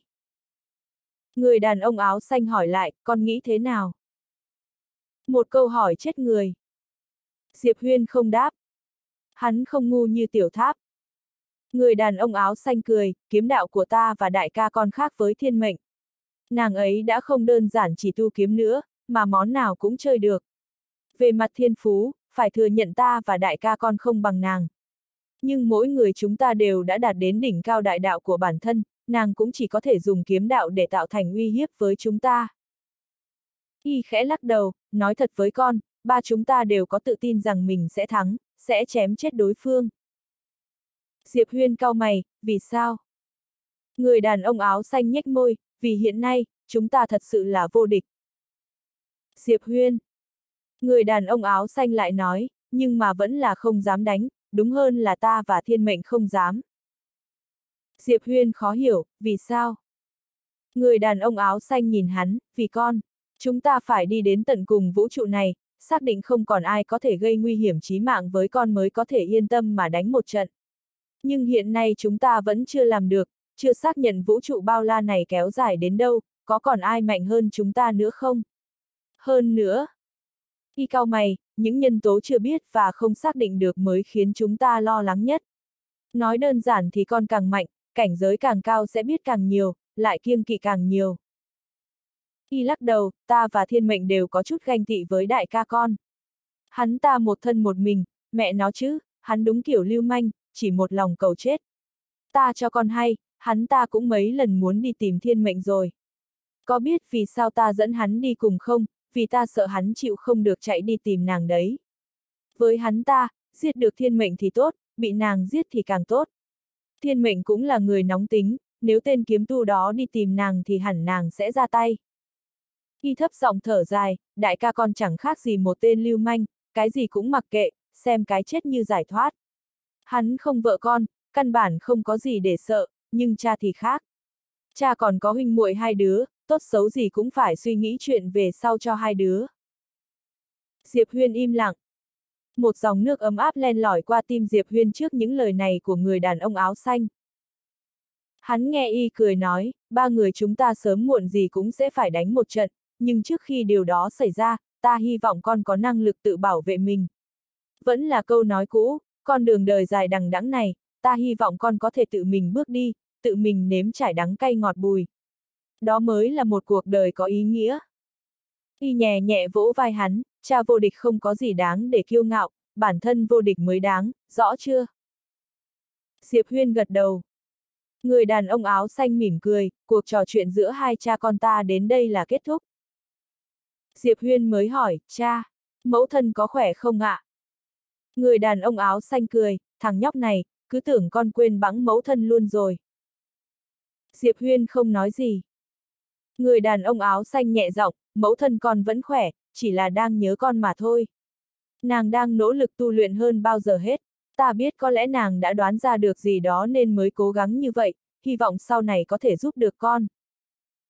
Y khẽ lắc đầu, còn đặc biệt lập nên cả một thế lực bí ẩn khác cho con nữa. Làm ta đau đầu phết. Diệp Huyên cảm thấy ấm áp trong lòng. Người đàn ông áo xanh, rồi, không tán phét nữa, ta đi đây. Diệp Huyên, cha, ma mạch mà người áo đen nói ban nãy là gì? Người đàn ông áo xanh lắc đầu, ta không biết thật. Diệp Huyên, nghe có vẻ rất lợi hại. Cha giết người của họ, có khi nào họ đến tìm con trả thù không? Người đàn ông áo xanh cười, con sợ à? Diệp Huyên nghiêm giọng, dĩ nhiên không, con chỉ. Người đàn ông áo xanh gật gù, không sợ là tốt. Con ta sao có thể sợ được, bọn chúng dám đến thì con cứ giết, ta tin con làm được. Diệp Huyên sượng ngắt. Người đàn ông áo xanh quay lại nói với Đinh Thược Dược, chúng ta đi thôi. Đinh Thược Dược do dự, ta không muốn đi đây đó khắp nơi. Người đàn ông áo xanh đi đến trước mặt bà ấy, thì thầm, ta đã tìm một nơi cực kỳ an tĩnh dành riêng cho nàng, sẽ không ai đến quấy rầy. Ninh Thược Dược, thật sao? Người đàn ông áo xanh gật đầu. Ninh Thược Dược suy ngẫm một hồi, quay sang nói với mộ niệm niệm, niệm cô nương liệu có hứng thú đi cùng ta một chút. Mộ niệm niệm ngẫm nghĩ rồi cười đáp, đương nhiên, nàng vươn tay về phía Diệp Huyên, gọi tiểu tháp xuất hiện trong tay. Một khắc sau, An Lan Tú, Trương Văn Tú và Diệp Liên xuất hiện. Mộ niệm niệm đánh mắt với Đinh Thực Dược, bà ấy quan sát An Lan Tú rồi nói, cho nàng đi theo tĩnh đi. Người đàn ông áo xanh cũng nhìn An Lan Tú, gật đầu, được. Ninh Thược Dược lại quay sang Trương Văn Tú, còn nàng. Người đàn ông áo xanh trầm ngâm một hồi, cho theo Tú tỷ. Ninh Thược Dược mỉm cười, cũng thỏa đáng. Sau đó bà nhìn Diệp Liên. Người đàn ông áo xanh lại ngẫm nghĩ, nàng đi theo ta. Yêu ai yêu cả đường đi lối về. Diệp Liên tuy không phải con ruột y nhưng y biết tình cảm giữa nàng và Diệp Huyên sâu nặng nhường nào. Diệp Huyên nghe vậy không khỏi mừng rỡ vô cùng. Diệp Liên đi theo cha thì sau này vô địch là cái chắc. Bỗng người đàn ông áo xanh quay đầu nhìn sang một hướng nọ, khẽ cau mày, đảo ngược thời gian. Y khép hai ngón tay lại. Phập. Một tia kiếm quang đâm thủng vùng thời không gần đó. Một dòng máu tươi chậm rãi dỉ ra rồi nhanh chóng biến mất. Những người khác sừng sốt. Mộ niệm niệm nhìn vào vùng thời không ấy, không biết đang suy nghĩ gì. Ninh thực dược hỏi người đàn ông áo xanh, chuyện gì vậy? Y cười, không, chỉ là có người ở tương lai dùng đảo ngược thời gian, muốn tái hiện những gì từng xảy ra ở đây mà thôi. Ninh thực dược nghe vậy thì không nói nữa, chỉ khẽ gật đầu. Người đàn ông áo xanh bỗng rút kiếm bổ tới. Xoẹt. Một đường hầm thời không xuất hiện ở nơi xa, Diệp Huyên nhìn thấy một cô gái đứng ở phía cuối. Tuyết tỷ. Nơi xa, nàng như cảm nhận được gì đó mà quay phát lại rồi nhanh chóng bỏ chạy, nào ngờ đã bị kiếm quang khóa lại. Dương Niệm Tuyết tròn mắt nhìn người đàn ông áo xanh cha. Người đàn ông áo xanh nhàn nhạt hỏi, còn có mặt mũi gọi ta là cha. Con từ bé đã đi theo ta, vậy mà bây giờ không đánh lại đệ đệ mình, không thấy mất mặt sao? Dương Niệm Tuyết bất mãn, đệ đệ chỉ biết ra vẻ, lúc nào cũng chạy đi nhờ thiên mệnh, còn làm sao mà bằng chứ? Mặt Diệp Huyên đen xì. Người đàn ông áo xanh cũng thấy đau đầu, mẫu thân con bảo ta mang con về, đi hay không do con quyết định. Mẫu thân. Sắc mặt Dương Niệm Tuyết khẽ thay đổi, một hồi sau mới không cam tâm mà gật đầu, về thì về. Người đàn ông áo xanh khép ngón tay lại, để một tia kiếm quang xuất hiện dưới chân Dương Niệm Tuyết. Một khắc sau, nàng đã được truyền tống đến bên họ. Dương Niệm Tuyết liếc nhìn Diệp Huyên, bật cười khanh khách, để lại bị ai đánh rồi lại nhờ cha đến giúp đúng không? Diệp Huyên nói, trước kia đệ vì giúp tỷ mà suýt mất luôn cái mạng, giờ tỷ sắp phải đi rồi, cũng nên cho đệ cái gì chứ hả? Hắn biết tỷ tỷ chắc chắn có rất nhiều bảo bối. Dương Niệm Tuyết lại chớp mắt, đệ đệ giúp tỷ tỷ không phải là chuyện đương nhiên sao? Diệp Huyên nghe mà há hốc mồm. Dương Niệm Tuyết vỗ vai hắn, nghiêm mặt nói, để tiếp tục cố gắng nhá, ta đi hưởng an nhàn với cha đây. Diệp Huyên. Dương Niệm Tuyết còn muốn nói gì thì bị người đàn ông áo xanh cắt ngang, sao con cũng bắt đầu lên mặt rồi. Dương Niệm Tuyết đi đến bên y, cười nói, hay cha để con ở lại phấn đấu với đệ đệ đi. Con cũng không muốn cái gì cũng phải dựa vào cha mẹ đâu, con cũng muốn dựa vào bản thân chứ bộ.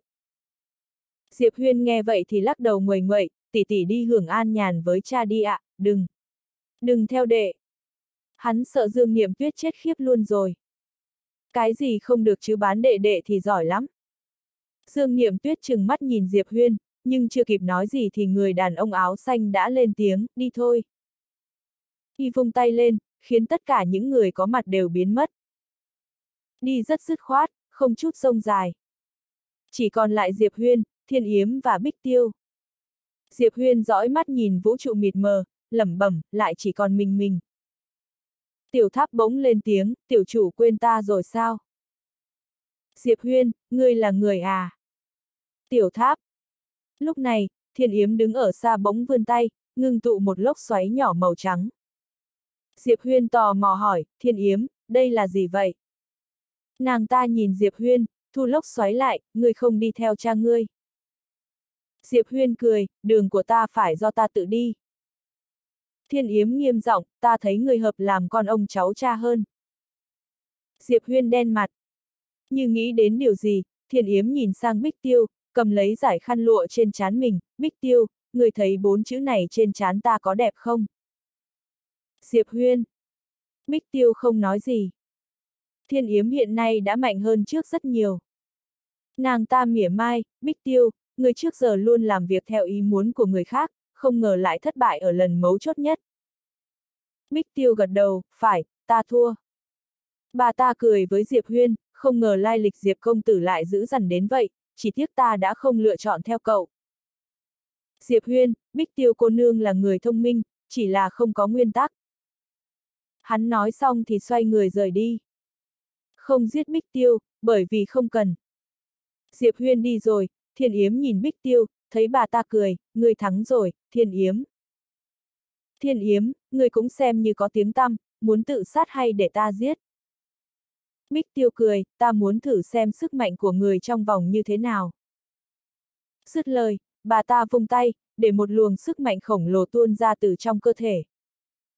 ầm, um. Thời không quanh bà ta sôi trào. Nội khuyên cảnh, nội khuyên bằng trong vòng. Thiên Yếm, thì ra ngươi vẫn luôn giấu cảnh giới. Bích Tiêu cười, dù sao cũng phải giữ lại một chút, đúng chứ? Thiên Yếm lắc đầu, muộn rồi. Nói xong, nó biến mất. Đồng tử Bích Tiêu rụt lại, yết hầu nứt toác, máu tươi phun ra. Thiên Yếm đã xuất hiện sau lưng bà ta, đã thấy rõ chưa? Vẻ mịt mờ dâng lên trong mắt Bích Tiêu khi sự sống dần biến mất, tha cho tộc nhân của ta. Thiên Yếm lắc đầu, thần hoang tộc sẽ tuyệt diệt, bởi vì nếu ngươi thắng, người chết sẽ là thiên khí tộc. Nói xong, nàng ta đi về phía xa. Chiến tranh không phải trò đùa, ai thua sẽ phải chết. Bích Tiêu đứng tại chỗ, thần sắc trong mắt dần phai đi. Cả đời bà ta đều đặt vào những canh bạc, cũng đã chiến thắng suốt một thời gian dài, từ đó mới khiến thần hoang tộc thay thế thiên khí tộc. Nào ngờ chỉ một lần thua cuộc, một lần quan trọng nhất này, lại khiến bà ta và cả tộc rơi vào cảnh vạn kiếp bất phục. Vào khoảnh khắc tan biến, câu nói của Diệp Huyên hiện lên trong đầu bà ta. Thông minh, nhưng không có nguyên tắc. Khi thân thể sắp sửa biến mất, Bích Tiêu thì thầm, xin lỗi cha, con đã không thể bảo vệ tộc nhân. Các tộc nhân, xin lỗi, ta không thể bảo vệ mọi người. Lời vừa dứt, bà ta cũng không còn. Chấm chấm chấm. Một khắc sau, Thiên Yếm đã đi đến cổng thiên hà. Sau khi sức mạnh tăng vọt, cường giả trụ nguyên giới đã chỉ còn là bầy kiến hôi trong mắt nó. Tàn sát. Một mình Thiên Yếm đã tiêu diệt tất cả cường giả của năm tộc.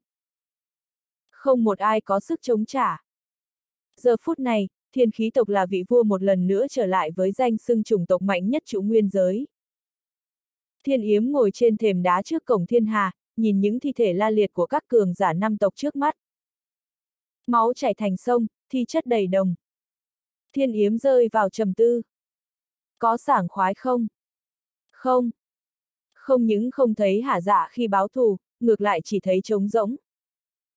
Bọn họ đứng trước nàng ta như loài kiến cỏ, chỉ cần phất tay là đã mạt sát toàn bộ. Thiên Yếm nghĩ đến cô gái váy trắng, đến người đàn ông áo xanh. Những người như nàng ta đứng trước cường giả nhường ấy, cũng chẳng phải là kiến hay sao. Thiên khí tộc đã thắng, nhưng bọn họ cũng chỉ là những con kiến tồn tại trong vũ trụ bao la này. Nếu trêu phải những người không nên trêu, tựa như cái ngày nàng ta và thiên khí tộc đối mặt với cô gái váy trắng, không hề có một cơ hội phản kháng. Bọn họ khi ấy cũng như năm tộc hôm nay, chỉ có thể mặc người tàn sát. Nghĩ đến đây, thiên yếm nhắm mắt lại, thưa cha, con sẽ bảo vệ thiên khí tộc chu toàn. Nàng ta đứng dậy rời đi. Không lâu sau, có một mệnh lệnh được truyền khắp thiên khí tộc. Thiên yếm từ chức tộc trưởng, người thừa kế sẽ là thiên cơ. Thứ mà thiên khí tộc cần không phải tộc trưởng, mà là một cường giả.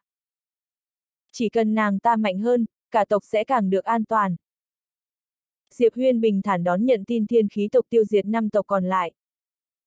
Hắn vốn không có bao nhiêu hứng thú với trụ nguyên giới. Sau khi kết thúc chuyện ở nơi này rồi, hắn trở lại dị thế giới. Bởi nơi này có người hắn nhớ thương. Diệp Huyên đi đến phương thốn tông đầu tiên. Có một cô gái đứng trên ngọn núi, dõi mắt nhìn biển hoa nơi xa, không biết đang suy nghĩ gì. Rồi nàng ta như cảm nhận được gì mà xoay người lại, nhìn thấy một người thanh niên đứng cách đó không xa. Diệp Huyên. Hắn cười, Liên Vân cô nương, lâu rồi không gặp.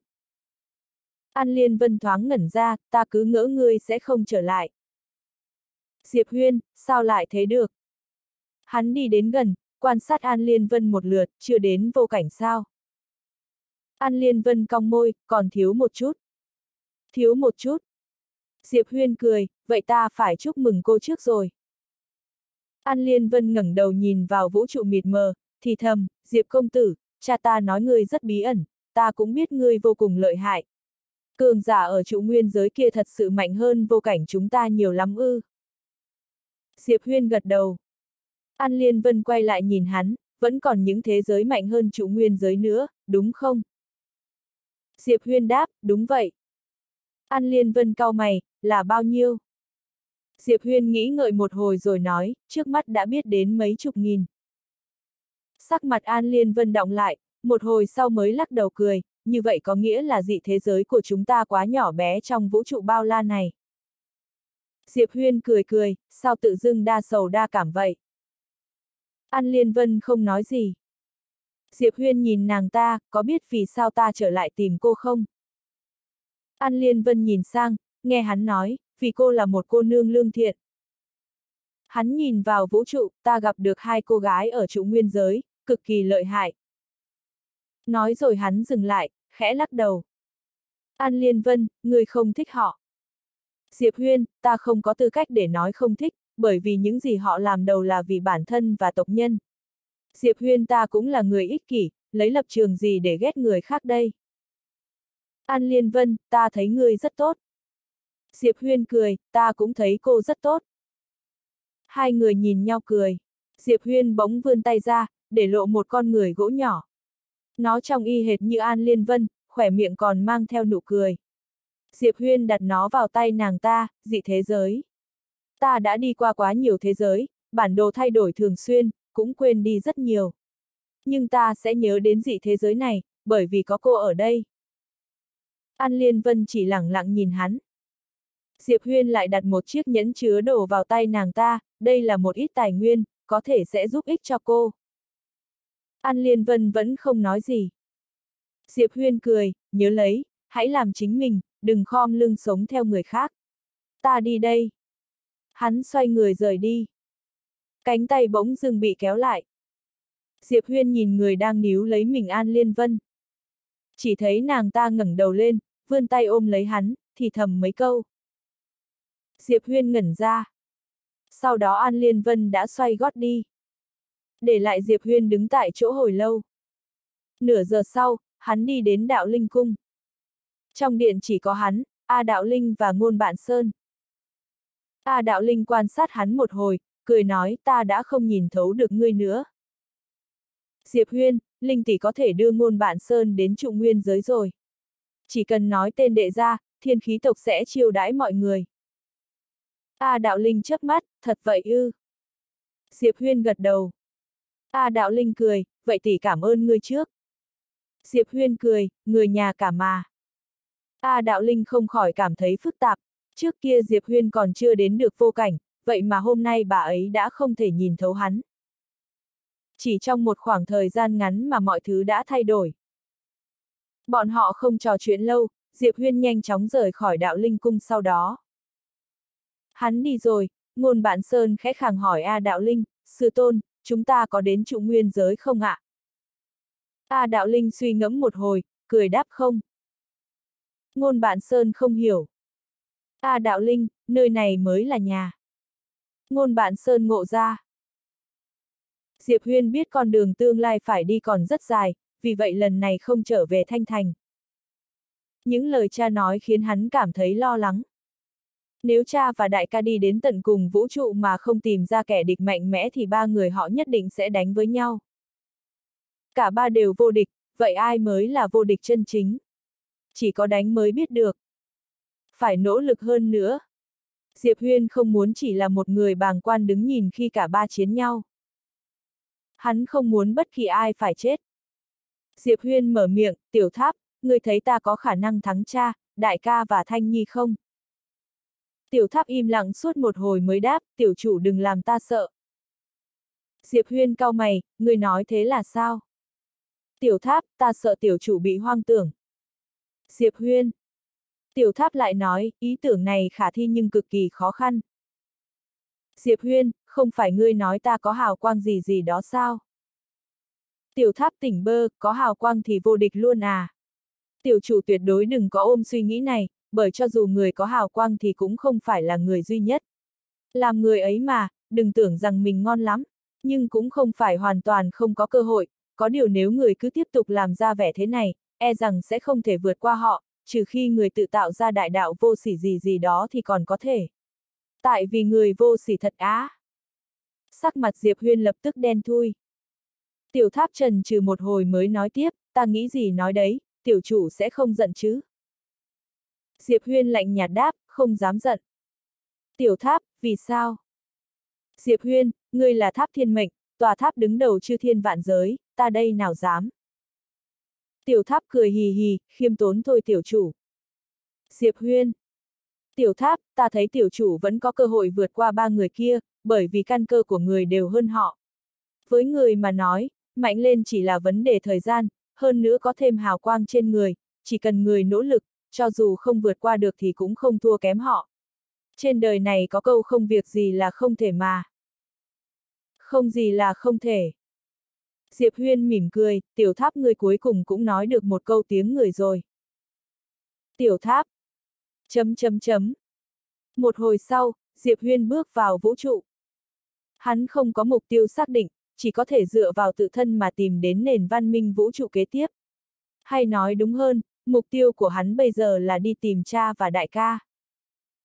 Vũ trụ bao la, vô cùng vô tận, Diệp Huyên ngự kiếm, chậm rãi mà đi.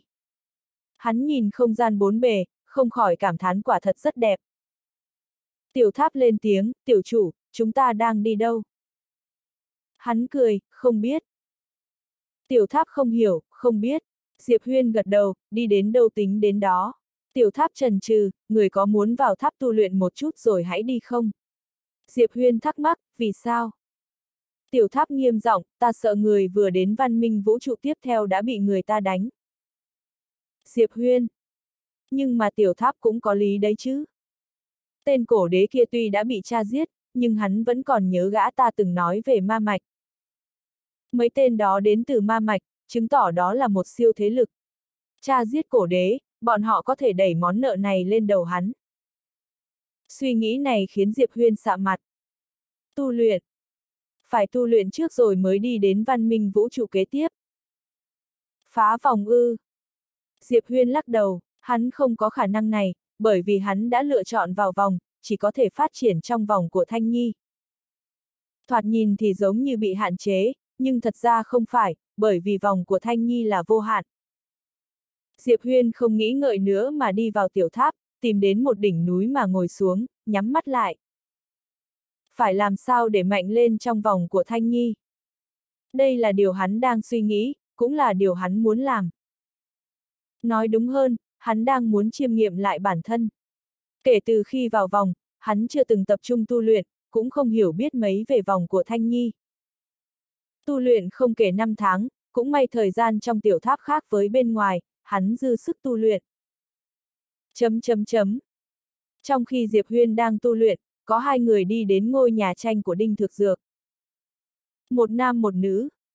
Nam mặc áo đen, tay trái cầm một khuyên sách cổ dày cộm, tay phải mang bút.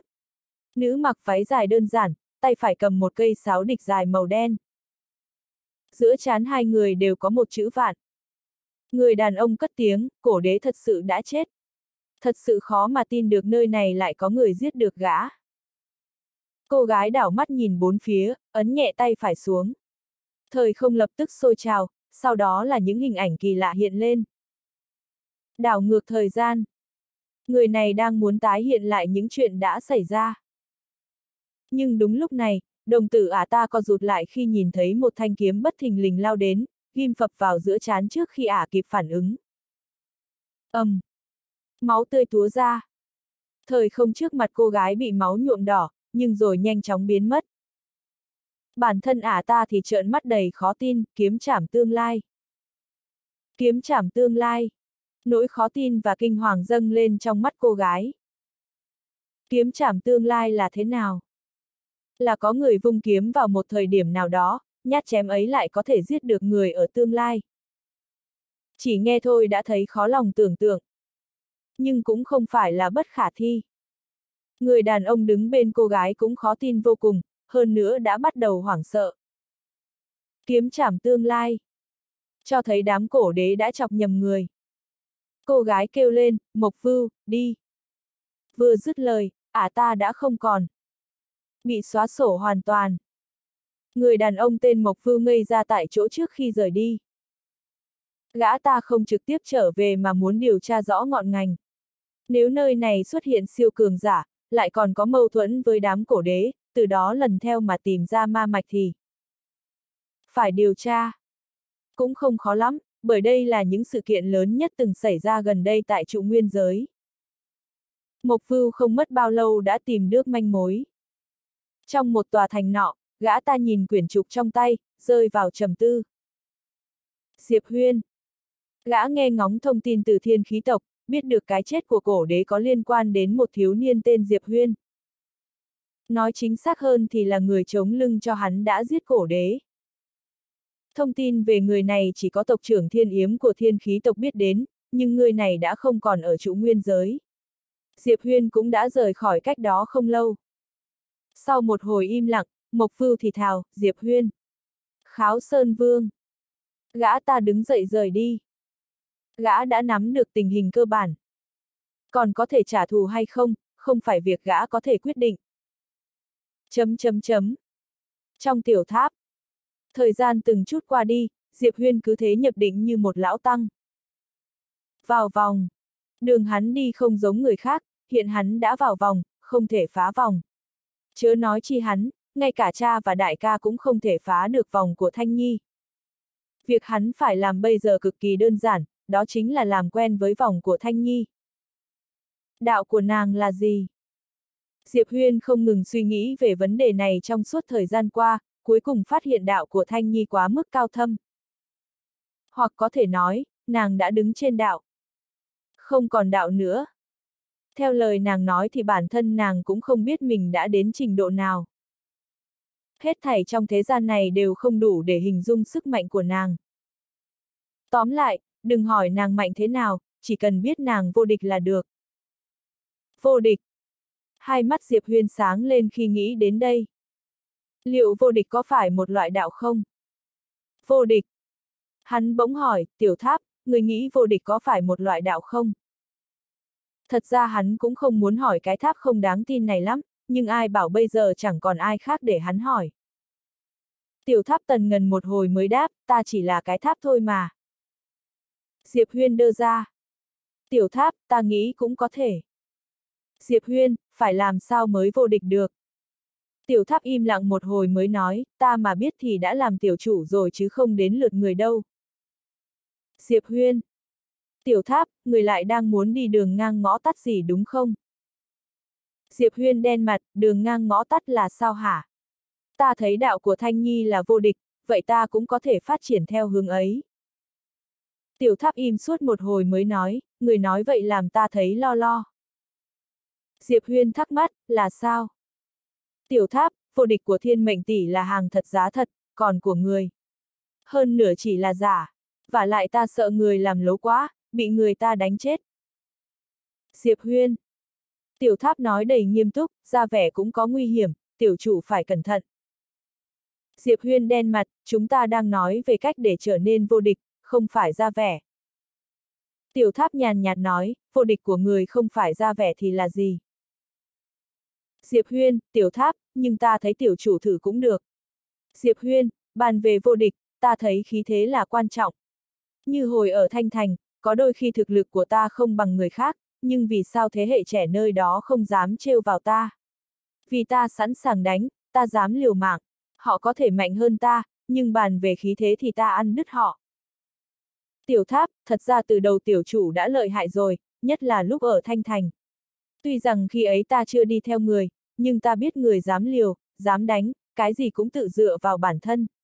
Kể từ khi biết được thiên mệnh tỷ và chủ nhân, người mới bước lên con đường con ông cháu cha không lối về. Hay, đúng là tạo hóa trêu ngươi, nếu thiên mệnh tỷ và chủ nhân không ra mặt giúp đỡ. Nó bỗng dừng lại, không đúng, không có chỗ dựa thì người đã toi mạng từ lâu rồi. Diệp Huyên. Tiểu tháp, thôi tiểu chủ tu luyện tiếp đi, ta thì không đâu. Lần sau có gặp thiên mệnh tỷ, ta sẽ nhờ tỷ ấy cải tạo, không gia tăng chức năng nữa mà tăng thêm sức mạnh cho ta, để ta có thể kiêu ngạo ngang ngược. Không làm gì cũng thắng sướng lắm, ta không muốn cố gắng nữa. Mặt Diệp Huyên đen như đáy nồi. Tiểu tháp, mi xong đời rồi. Kể từ khi được Thanh Nhi chỉnh sửa, nó không chỉ ngạo mạn ra mặt mà còn thích cảm giác không làm gì cũng thắng. Hắn bèn làm ngơ nó, tiếp tục tìm hiểu. Hiện đã có phương hướng rồi. Đó chính là vô địch. Hắn chỉ cần đi theo hướng này, có thể vô địch thật hay không cũng không quan trọng, ít nhất cũng phải có cái khí thế của kẻ vô địch. Khí thế. Diệp Huyên lại bắt được một điểm mấu chốt. Một năm sau, hắn đi đến một vùng mây trắng, nhắm mắt lại một hồi lâu mới mở ra, dùng ngón cái tay trái khẽ ngoắc. Kiếm vừa rời vỏ được một tấc, đã có một luồng kiếm thế hùng hậu ùa ra từ người hắn. Chỉ trong phút chốc, tầng mây kéo dài mấy vạn dặm đã biến mất. Đây là khí thế. Không chỉ vậy, còn có cả kiếm thế. Chúng toát ra từ người hắn, mạnh mẽ hơn bao giờ hết. Tiểu tháp lên tiếng, tiểu chủ, người, cũng hay phết đấy. Diệp Huyên, khí thế chính là hướng đi kế tiếp của ta. Hắn đã có chút hoang mang khi vào khuyên của Thanh Nhi. Con đường kế tiếp phải đi thế nào? Đây là điều hắn vẫn luôn suy nghĩ. Vòng của Thanh Nhi là vô hạn, hắn lại không hiểu biết về thực lực lẫn đại đạo của nàng, đã vậy còn là người đầu tiên chọn vào vòng, vì vậy vẫn luôn như rắn mất đầu. Nhưng may quá, hắn đã tìm được phương hướng rồi. Đó chính là khí thế. Ta có thể không vô địch, nhưng ta phải có khí thế, hoặc nói đúng hơn là dũng khí. Kẻ địch rất mạnh, ta có lẽ không thắng được, nhưng ta vẫn dám đánh, vẫn dám rút kiếm ra. Thắng bại là một chuyện, dám đánh hay không là chuyện khác. Không chỉ giữ người với người mà khí thế cũng vô cùng quan trọng khi hai quân giao chiến. Mục đích của hắn vô cùng đơn giản, đó chính là tu luyện thành khí thế vô địch này. Hắn cũng biết rõ vô địch của mình không phải thật sự vô địch mà chỉ là một loại khí thế, một loại tín niệm. Hắn không biết hướng đi này là đúng hay sai, bởi vì con đường của hắn giờ đây đã không giống với người khác. Họ có thể phá vòng, hắn lại không, tương lai hắn chỉ có thể tự mình tìm hiểu. Một hồi sau, ngón cái Diệp Huyên búng mạnh ra. Xoẹt. Kiếm thanh huyên rời vỏ. U u u. Tiếng kiếm minh vang lên khắp tiểu tháp, không gian trong phạm vi ngàn dặm nứt vỡ. Tiểu tháp la lên, tiểu chủ đừng phá. Diệp Huyên cười gượng, suýt nữa quên mất đây là thế giới trong tiểu tháp.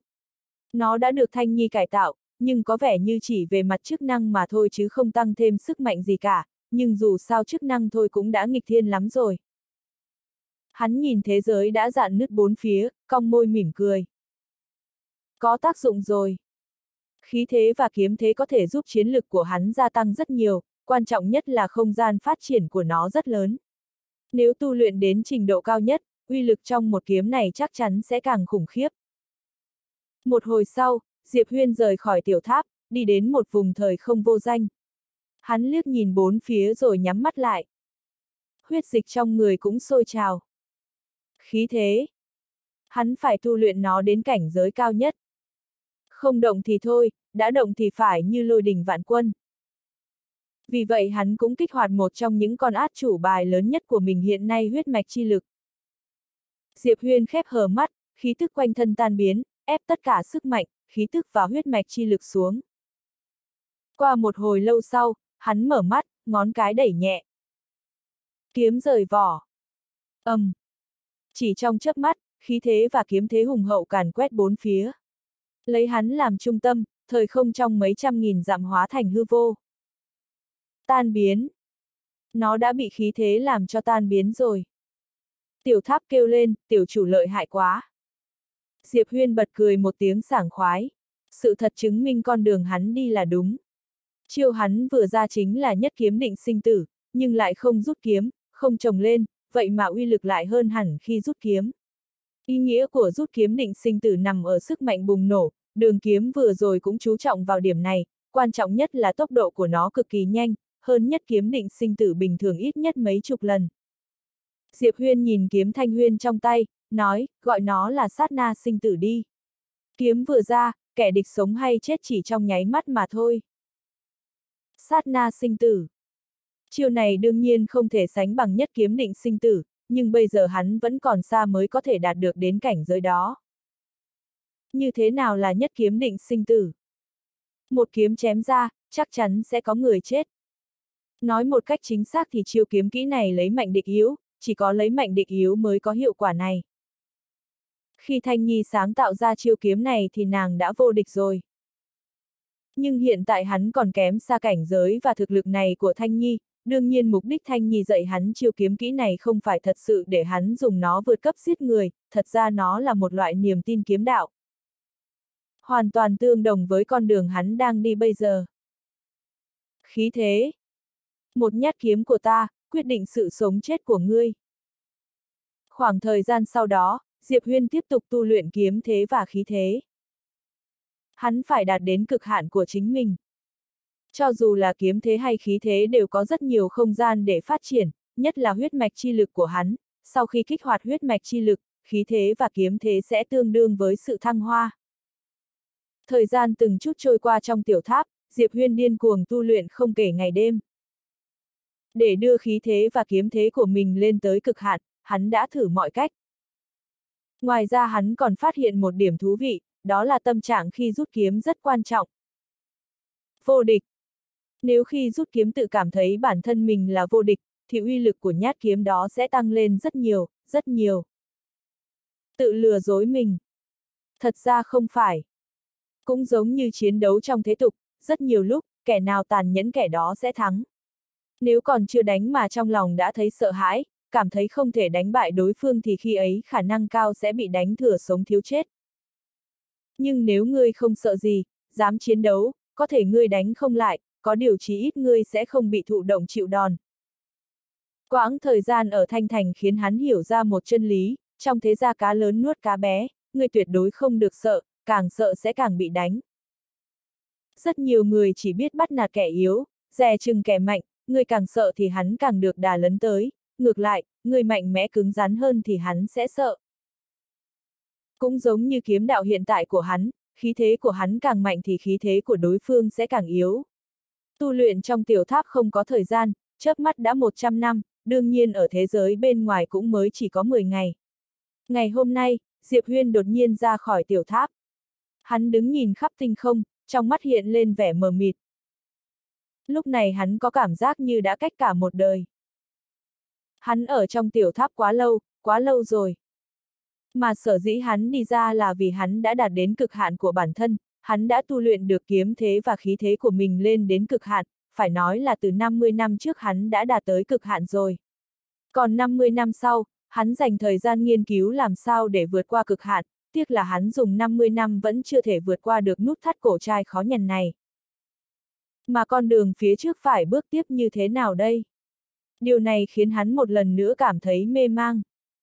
Hắn không lựa chọn tiếp tục tu luyện nữa, cứ tiếp tục tu luyện một cách khô khan như vậy, hắn cảm thấy não mình sắp uống nước rồi. Diệp Huyên nhìn về phương xa, ngay sau đó hắn lập tức biến mất tại chỗ. Vụt! Một luồng kiếm quang vụt qua, xé toạc nơi sâu trong tinh không rộng lớn. Trong tinh hà vũ trụ vô tận, Diệp Huyên bay lượn không mục đích, hắn không có mục tiêu cụ thể, dù sao cứ tiến về phía trước đi đã. Còn việc trở về, hắn cũng không lo lắng, bởi hắn đã có kiếm thanh huyên trong tay. Bất cứ nơi nào từng đi qua, hắn đều có thể sử dụng kiếm thanh huyên để về lại nơi đó. Ba ngày sau, Diệp Huyên chợt dừng lại trong tinh hà, hắn nhìn thấy một vòng xoáy màu đen cực lớn ở nơi sâu trong tinh không phía xa, vòng xoáy màu đen đó bao trùm toàn bộ tinh vực, bên trong tối đen sâu thẳm, toát ra năng lượng cực kỳ khủng khiếp. Diệp Huyên suy nghĩ một chút rồi đi về phía vòng xoáy màu đen đó. Hắn biết có lẽ vòng xoáy màu đen này tương đương với một loại truyền tống trận, đằng sau nó có thể có một nền văn minh vũ trụ huy hoàng. Chẳng mấy chốc, Diệp Huyên đã tới trước vòng xoáy màu đen, lúc này một lực hút cực mạnh đang bao trùm lấy hắn. Diệp Huyên nhíu mày, phất tay áo, một luồng khí thế vọt ra. Bùm!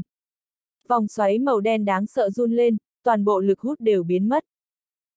Diệp Huyên chậm rãi đi vào trong vòng xoáy màu đen, bên trong nó là một thông đạo truyền tống thời không, khi hắn vừa bước chân vào thì lập tức bắt đầu du hành trong thời không, không lâu sau trước mặt hắn xuất hiện một luồng trắng sáng, giây tiếp theo, hắn xuất hiện trong một đám mây.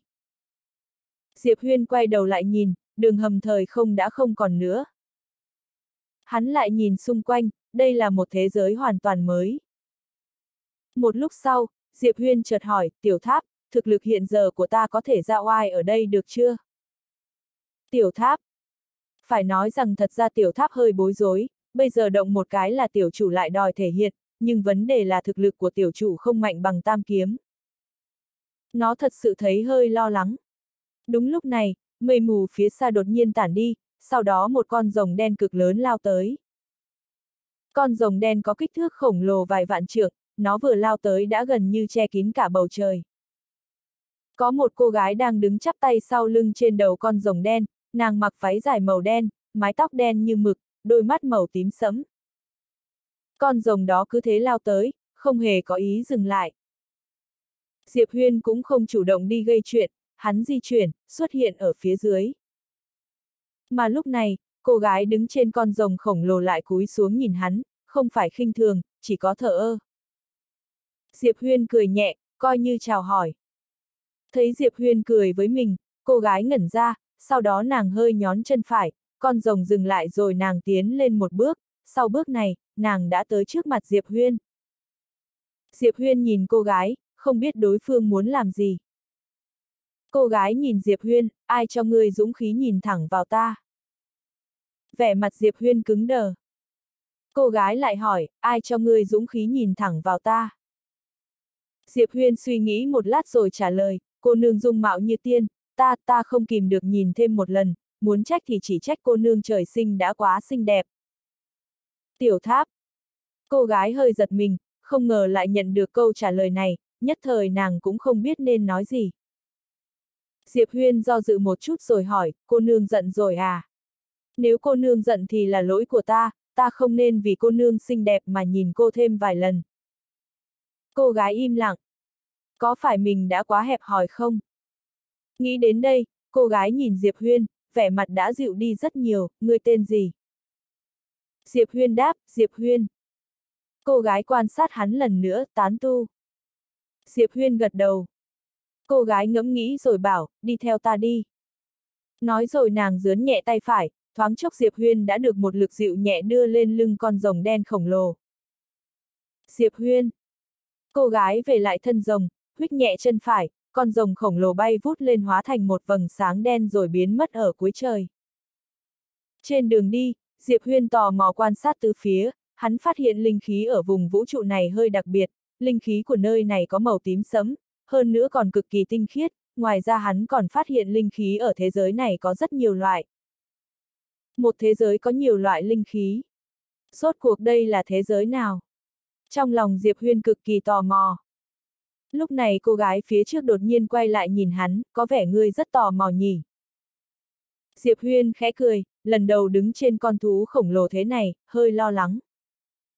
Cô gái nói lại, hỏi một đằng trả lời một nẻo. Diệp Huyên. Đúng lúc này, con rồng khổng lồ đột nhiên dừng lại, Diệp Huyên nhìn xuống phía dưới. Phía dưới là một dãy núi trải dài vô tận, trên rất nhiều đỉnh núi còn có những tòa cung điện cổ kính sừng sững. Một thế lực cổ xưa. Lúc này con rồng xà xuống rồi đáp lại trên bầu trời của một tòa cung điện cổ xưa, cô gái nhìn Diệp Huyên, đi thôi.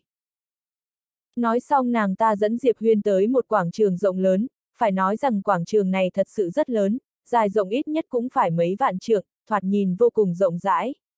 Mà trên quảng trường này đang có một số người tính tọa tu luyện. Diệp Huyên nhìn những người đang tính tọa tu luyện ấy, hầu hết họ đều là người phá vòng. May thay, người vẽ vòng ở nơi này cũng không xuất hiện nhiều. Lúc này, cô gái dẫn Diệp Huyên tới trước một đại điện, một ông lão xuất hiện trước mặt nàng rồi hơi cúi đầu hành lễ, mục thần. Cô gái khẽ gật đầu, liếc nhìn Diệp Huyên bên cạnh rồi bảo, để hắn làm đệ tử ngoại môn, à thôi, làm đệ tử nội môn đi. Nói xong nàng biến mất ở nơi không xa. Ông lão quan sát Diệp Huyên một lúc, người phá vòng. Diệp Huyên gật đầu. Thật ra hắn đã vào vòng rồi, nhưng trong mắt người ngoài thì hắn là phá vòng. Ông lão lưỡng lự vài giây rồi hỏi, tiểu hữu và mục thần là. Diệp Huyên chớp mắt, ông đoán xem. Vẻ mặt của ông lão cứng lại. Ta đoán. Ta phải đoán thế nào? Ông ta nhất thời không biết nói gì. Lúc này Diệp Huyên chợt lên tiếng, mục tỷ không nói với ông về mối quan hệ của ta với tỷ ấy à? Mục tỷ. Ông lão trần trừ, tiểu hữu, mục thần không nói gì cả. Ồ. Diệp Huyên cố ý kéo dài giọng, sau đó bảo, chắc tỷ ấy muốn ta khiêm tốn một chút đây mà. Vậy thì khiêm tốn vậy. Ông lão. Diệp Huyên lại nói, tiền bối. Ông lão vội vàng thưa, gọi ta cốc nhất là được, ta không dám nhận hai chữ tiền bối này. Diệp Huyên cười khẽ cốc nhất trưởng lão, ta thích đọc sách, ông có thể sắp xếp một nơi cho ta được không? Ông lão suy tư, sách thể loại nào? Diệp Huyên hơi ngạc nhiên, ở đây có rất nhiều thể loại sách à. Ông lão gật đầu, có một số sách cổ về nghĩa hiệp, còn có một số sách, ừm, là loại đó đó, cậu hiểu mà, cậu muốn xem loại đó không? Diệp Huyên không hiểu lắm, loại đó là loại nào? Ông ta liếc mắt nhìn hắn, là, loại tình cảm yêu đương thắm thiết đó. Diệp Huyên Tình cảm yêu đương thắm thiết. Khuôn mặt Diệp Huyên đầy vạch đen, suy nghĩ của ông lão này không trong sáng chút nào. Còn nữa, hắn là người có suy nghĩ không trong sáng vậy sao? Lại còn giới thiệu cho hắn loại sách đó nữa, thật là. Một lúc sau, Cốc Nhất đưa Diệp Huyên tới một căn lầu các, Diệp Huyên tiểu hữu, trong này có rất nhiều sách cổ, cậu có thể xem thoải mái. Nhưng không có công pháp hay võ kỹ gì đâu. Diệp Huyên gật đầu, được. Cốc Nhất cười khẽ, nội môn đều do ta quản lý, cậu cần gì thì cứ nói với ta. Diệp Huyên mỉm cười, cảm ơn cốc trưởng lão. Cốc Nhất đáp, đừng khách sáo. Nói xong ông ta chắp tay rồi lui ra. Lúc này tiểu tháp đột nhiên nói, tiểu chủ, hình như người thay đổi rồi. Diệp Huyên hơi bất ngờ, thay đổi cái gì? Tiểu tháp nghiêm nghị trả lời, nếu là trước đây, cô gái kia dám nói với người như vậy chắc chắn người sẽ đốt chát lại ngay.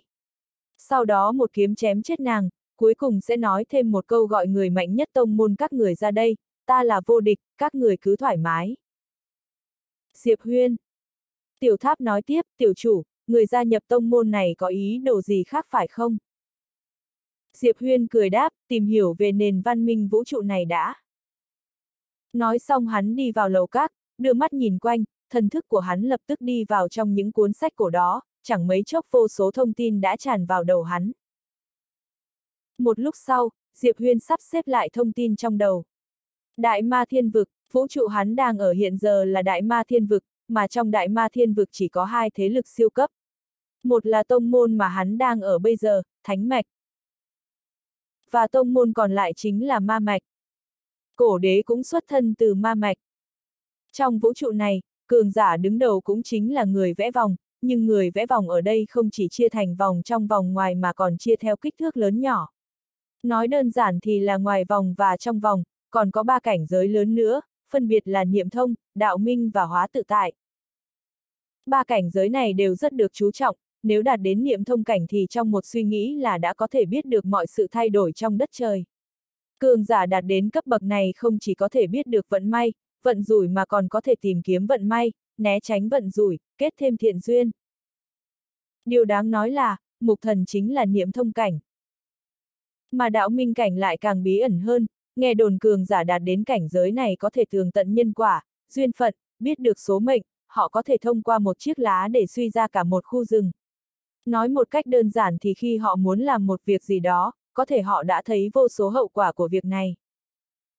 Mà cường giả này, hiện nay ở trong cả đại ma thiên vực cũng chỉ là truyền thuyết. Rốt cuộc có hay không thì không ai biết. Trong sách cổ không miêu tả về cảnh giới hóa tự tại cảnh cuối cùng này. Đây là một cảnh giới không ai biết đến, nhưng điều chắc chắn là cảnh giới này có tồn tại, mà người bình thường thì hoàn toàn không biết tới, có lẽ cũng chỉ có cường giả hàng đầu thế giới này như mục thần mới biết được đôi chút. Diệp Huyên gập cuốn sách cổ lại, im lặng không lên tiếng. Tại sao mục thần lại đưa hắn đến thánh mạch này? Chỉ vì hắn khen nàng xinh đẹp thôi sao? E là không đơn giản như thế. Điều đáng nói là cổ đế thuộc bán bộ niệm thông cảnh, nhưng người lợi hại gã ta thì đúng là hơi lúng túng. Biết được may rủi. Trên thực tế, đừng nói là niệm thông cảnh, ngay cả cường giả vô cảnh cũng có thể đoán trước được may rủi, nhưng điều này cũng là một sự phân biệt. Ví dụ như một số cường giả khi đối mặt với Diệp Huyên không cảm nhận được nguy hiểm gì, giống như cổ đế vậy, vì đúng là thực lực của Diệp Huyên hắn không đủ mạnh để uy hiếp được cường giả cấp bậc như cổ đế. Cả thiên yếm lúc trước nữa, sở dĩ nàng ta muốn giết hắn cũng là vì hắn không có chút uy hiếp nào đối với nàng ta.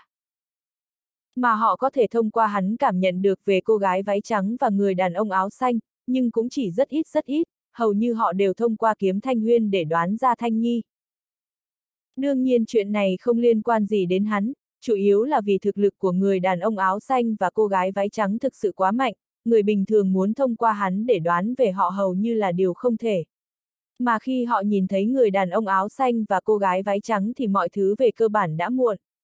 Giống như cổ đế, khi gã ta nhìn thấy người đàn ông áo xanh thì lòng bắt đầu bất an, thật ra là gã ta đã đoán ra được họa phúc, nhưng lúc đó thì đã muộn rồi. Vận mệnh Diệp Huyên chậm rãi nhắm lại hai mắt, lúc này trong đầu hắn hiện lên rất nhiều, rất nhiều suy nghĩ. Rất nhiều người luôn nói số mệnh của ta do ta, không do trời, nhưng thế gian này lại chẳng mấy ai làm được điều đó, rất nhiều người tu luyện lợi hại cũng hiểu được điều này, vì vậy họ không còn đi ngược lại với số mệnh mà lựa chọn đi theo nó, cũng chính là niệm thông cảnh và đạo minh cảnh. Trái lại ý trời rất khó, nhưng thuận theo ý trời thì không khó như vậy, nghe theo thiên mệnh, cầu nhiều phúc lành. Ta không đánh được ngươi thì ta sẽ nghe theo ngươi, sau đó ta sẽ là người tuân thủ quy tắc và biết về quy tắc trong vòng tròn này. Nghĩ đến đây, Diệp Huyên khẽ lắc đầu thở dài trong lòng. Thật ra, thật sự phá vòng và tạo ra quy tắc, có lẽ cho tới nay chắc cũng chỉ có Thanh Nhi, phụ thân và đại ca của hắn có thể làm được. Ba người họ có lẽ đã thật sự vượt qua tất cả. Cho dù là niệm thông cảnh hay đạo minh cảnh, hay là hóa tự tại cảnh thì đều ở trong vòng này. Hơn nữa lúc trước niệm tỷ còn nói Thanh Nhi vẫn luôn vẽ vòng, sau đó lại phá vòng, có trời mới biết bây giờ nàng đã vẽ được bao nhiêu vòng và phá được bao nhiêu vòng. Phải biết rằng mỗi lần vẽ một vòng đều tượng trưng cho một sự khởi đầu hoàn toàn mới, mà lập xong nàng lại phá nó, điều này có nghĩa là nàng đã vượt ra quy tắc đại đạo mà mình tự thiết lập. Nghĩ đến đây, Diệp Huyên không khỏi thầm thở dài, rốt cuộc Thanh Nhi mạnh nhường nào đây? Lúc này tiểu tháp chợt đáp lời, tiểu chủ, có lẽ ta biết đấy. Mặt Diệp Huyên đầy vạch đen, đều là người của mình, người đừng giả bộ nữa. Tiểu tháp nghiêm túc nói, tiểu chủ, có thể ta thật sự biết mà. Diệp Huyên do dự rồi hỏi, thế ngươi nói đi ta nghe xem nào. Hắn phát hiện tuy bình thường tiểu tháp không có tác dụng gì, nhưng đôi khi một số lời nó nói ra cũng khá có lý. Lúc này tiểu tháp đột nhiên nói, việc vẽ vòng, phá vòng đáng sợ của thiên mệnh tỷ tỷ khiến ta nhớ đến một câu chuyện xưa. Diệp Huyên hơi tò mò, câu chuyện xưa gì? Tiểu tháp kể, chuyện kể rằng, một người nông dân cứu được một hoàng đế, hoàng đế hỏi ông ta muốn phần thưởng gì, người nông dân đáp, ngài hãy đặt một hạt gạo vào chiếc hộp thứ nhất, đặt hai hạt gạo vào chiếc hộp thứ hai, đặt bốn hạt vào chiếc hộp thứ ba, đặt 8 hạt vào chiếc hộp thứ tư, cứ như vậy, số hạt gạo trong mỗi hộp đều nhiều gấp đôi hộp trước. Đặt hết vào trong 64 chiếc hộp như thế, ta muốn số gạo trong những chiếc hộp này. Diệp Huyên hơi sững sờ, sau đó hỏi, đây chẳng phải chuyện rất đơn giản sao? Một bao gạo là đủ rồi mà. Tiểu tháp im lặng một lúc rồi bảo, tiểu chủ, ta có thể xúc phạm chỉ số thông minh của người không? Diệp Huyên. Tiểu tháp thấp giọng thở dài, tiểu chủ, người nghĩ kỹ lại xem có thật sự đơn giản như vậy không? Diệp Huyên suy nghĩ, chẳng mấy chốc đồng tử của hắn co lại, hắn đứng lên, hiển nhiên đã hiểu ra nguyên nhân. Nhìn qua thì yêu cầu này rất đơn giản. Nhưng thực tế thì sao? Thực tế thì lượng gạo trong cả một vương quốc cộng lại cũng chưa chắc đã đủ. Lúc này tiểu tháp lại nói, thực lực của thiên mệnh tỷ tỷ giống như đặt hạt gạo lên bàn cờ này, tỷ ấy vẽ một vòng tương đương với việc đặt một hạt gạo, mà phá một vòng tương đương với việc đặt hai hạt gạo ở ô thứ hai, khi tỷ ấy vẽ vòng lần nữa thì tương đương với việc đặt bốn hạt gạo ở ô thứ ba. Nói một cách đơn giản thì mỗi lần tỷ ấy tự vẽ vòng và phá vòng thì thực lực đều sẽ tăng lên gấp đôi. Mà muốn biết thực lực của tỷ ấy đã đạt đến trình độ nào, rất đơn giản, chúng ta chỉ cần biết bàn cờ trong lòng tỷ ấy có bao nhiêu chiếc hộp là được rồi. Diệp Huyên đột hỏi, nếu hộp của nàng là vô hạn thì sao? Xung quanh bỗng chốc im lặng. Một lúc sau, tiểu tháp trầm giọng đáp tiểu chủ, người nói như vậy khiến ta cảm thấy chỉ số thông minh của người hơi tệ đấy. Diệp Huyên. Tiểu tháp thấp giọng thở dài, tiểu chủ, ta cảm thấy chúng ta muốn đuổi kịp được thiên mệnh tỷ tỷ sợ rằng hơi khó khăn. Diệp Huyên gật đầu, đúng là hơi khó một chút. Tiểu tháp nói, nhưng ta có niềm tin vào chúng ta. Diệp Huyên lại tò mò, vì sao? Tiểu tháp cười đáp, vì người có vầng hào quang. Theo như kinh nghiệm của ta, người có vầng hào quang thì thông thường sẽ bùng nổ lớn vào thời khắc mấu chốt nhất, chẳng hạn như chủ nhân, ban đầu ông ấy cũng bị thiên mệnh tỷ tỷ đánh cho không thể đánh trả, sắp bị tỷ ấy giết chết đến nơi. Nhưng cuối cùng chủ nhân bùng nổ, thoáng chốc lật ngược tình thế, ta nghĩ người cũng có thể làm được. Diệp Huyên trần trừ một lát rồi hỏi, trước đây phụ thân bị Thanh Nhi đánh rất thê thảm à? Tiểu tháp ngẫm nghĩ vài giây, ta cảm thấy tốt hơn hết chúng ta đừng nên bàn đến vấn đề này nữa thì hơn. Diệp Huyên chớp mắt, tiểu tháp, sao tự nhiên ngươi lại trở nên nhát gan thế này? Đây không phải phong cách của ngươi mà. Tiểu tháp thở dài, tiểu chủ, đôi khi ta cảm thấy ta nhận người là chủ nhân khiến bản thân ta giống như người quá có tài mà không phát huy được vậy. Hay là, người nhận ta làm chủ đi. Diệp Huyên. Tiểu tháp nói tiếp, ban đầu khi chủ nhân đi, chẳng phải ông ấy đã chém ra một nhát kiếm đấy sao? Nhát kiếm ấy chém vào thời không, nhưng lại có máu chảy ra, người có biết điều đó có nghĩa là gì không? Diệp Huyên lắc đầu. Giọng của tiểu tháp trở nên trang nghiêm hơn, đó là kiếm trảm tương lai đấy. Cũng có nghĩa là, sau khi chúng ta đi không lâu sẽ có người xuất hiện ở nơi đó, và đối phương sẽ bắt đầu quay ngược thời gian, muốn tái hiện lại những gì đã xảy ra. Nhưng chủ nhận đã cảm nhận được, đây vẫn chưa phải điều lợi hại nhé, lợi hại nhất là nhát kiếm đó của chủ nhân, nhát kiếm ấy không phải chém khi đó mà là chém tương lai. Nói đơn giản hơn nữa thì nhát kiếm hiện tại ông ấy chém ra sẽ giết chết một người ở tương lai, người thấy có đáng sợ không? Diệp Huyên, cũng tạm. Cũng tạm. Tiểu tháp nghiêm nghị nói, tiểu chủ à, người có thể đừng giả vờ nữa được không? Bây giờ người giả vờ khiến ta thấy hơi sợ rồi đấy.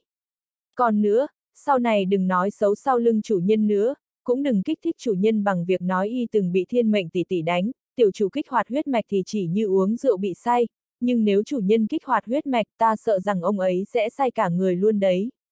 Sau đó nhân tiện cũng sẽ say như luôn cả ta, dù sao đôi khi đến ta cũng cảm thấy người không giống con ruột của ông ấy. Diệp Huyên. Đau lòng đây. Diệp Huyên hơi bất ngờ, bởi vì tiểu tháp đã bắt đầu sợ rồi. Phải biết rằng trước đây ngoại trừ Thanh Nhi, tiểu tháp chẳng để ai vào mắt cả. Xem ra, nhát kiếm hôm đó của phụ thân đã làm tiểu tháp sợ hãi. Không suy nghĩ nhiều, Diệp Huyên gập cuốn sách cổ lại, đang định rời đi thì một cô gái chợt bước vào lầu các. Nhìn thấy cô gái, Diệp Huyên hơi giật mình, người tới chính là Mục Thần. Mục Thần đi tới trước mặt Diệp Huyên, cốc nhất nói người đang đọc sách ở đây. Diệp Huyên cười đáp đúng. Mục Thần quan sát hắn, người có hứng thú trở thành đệ tử chân truyền không? Diệp Huyên hơi ngẩn người, đệ tử chân truyền. Mục Thần gật đầu. Diệp Huyên do dự rồi đáp, ta không có hứng lắm.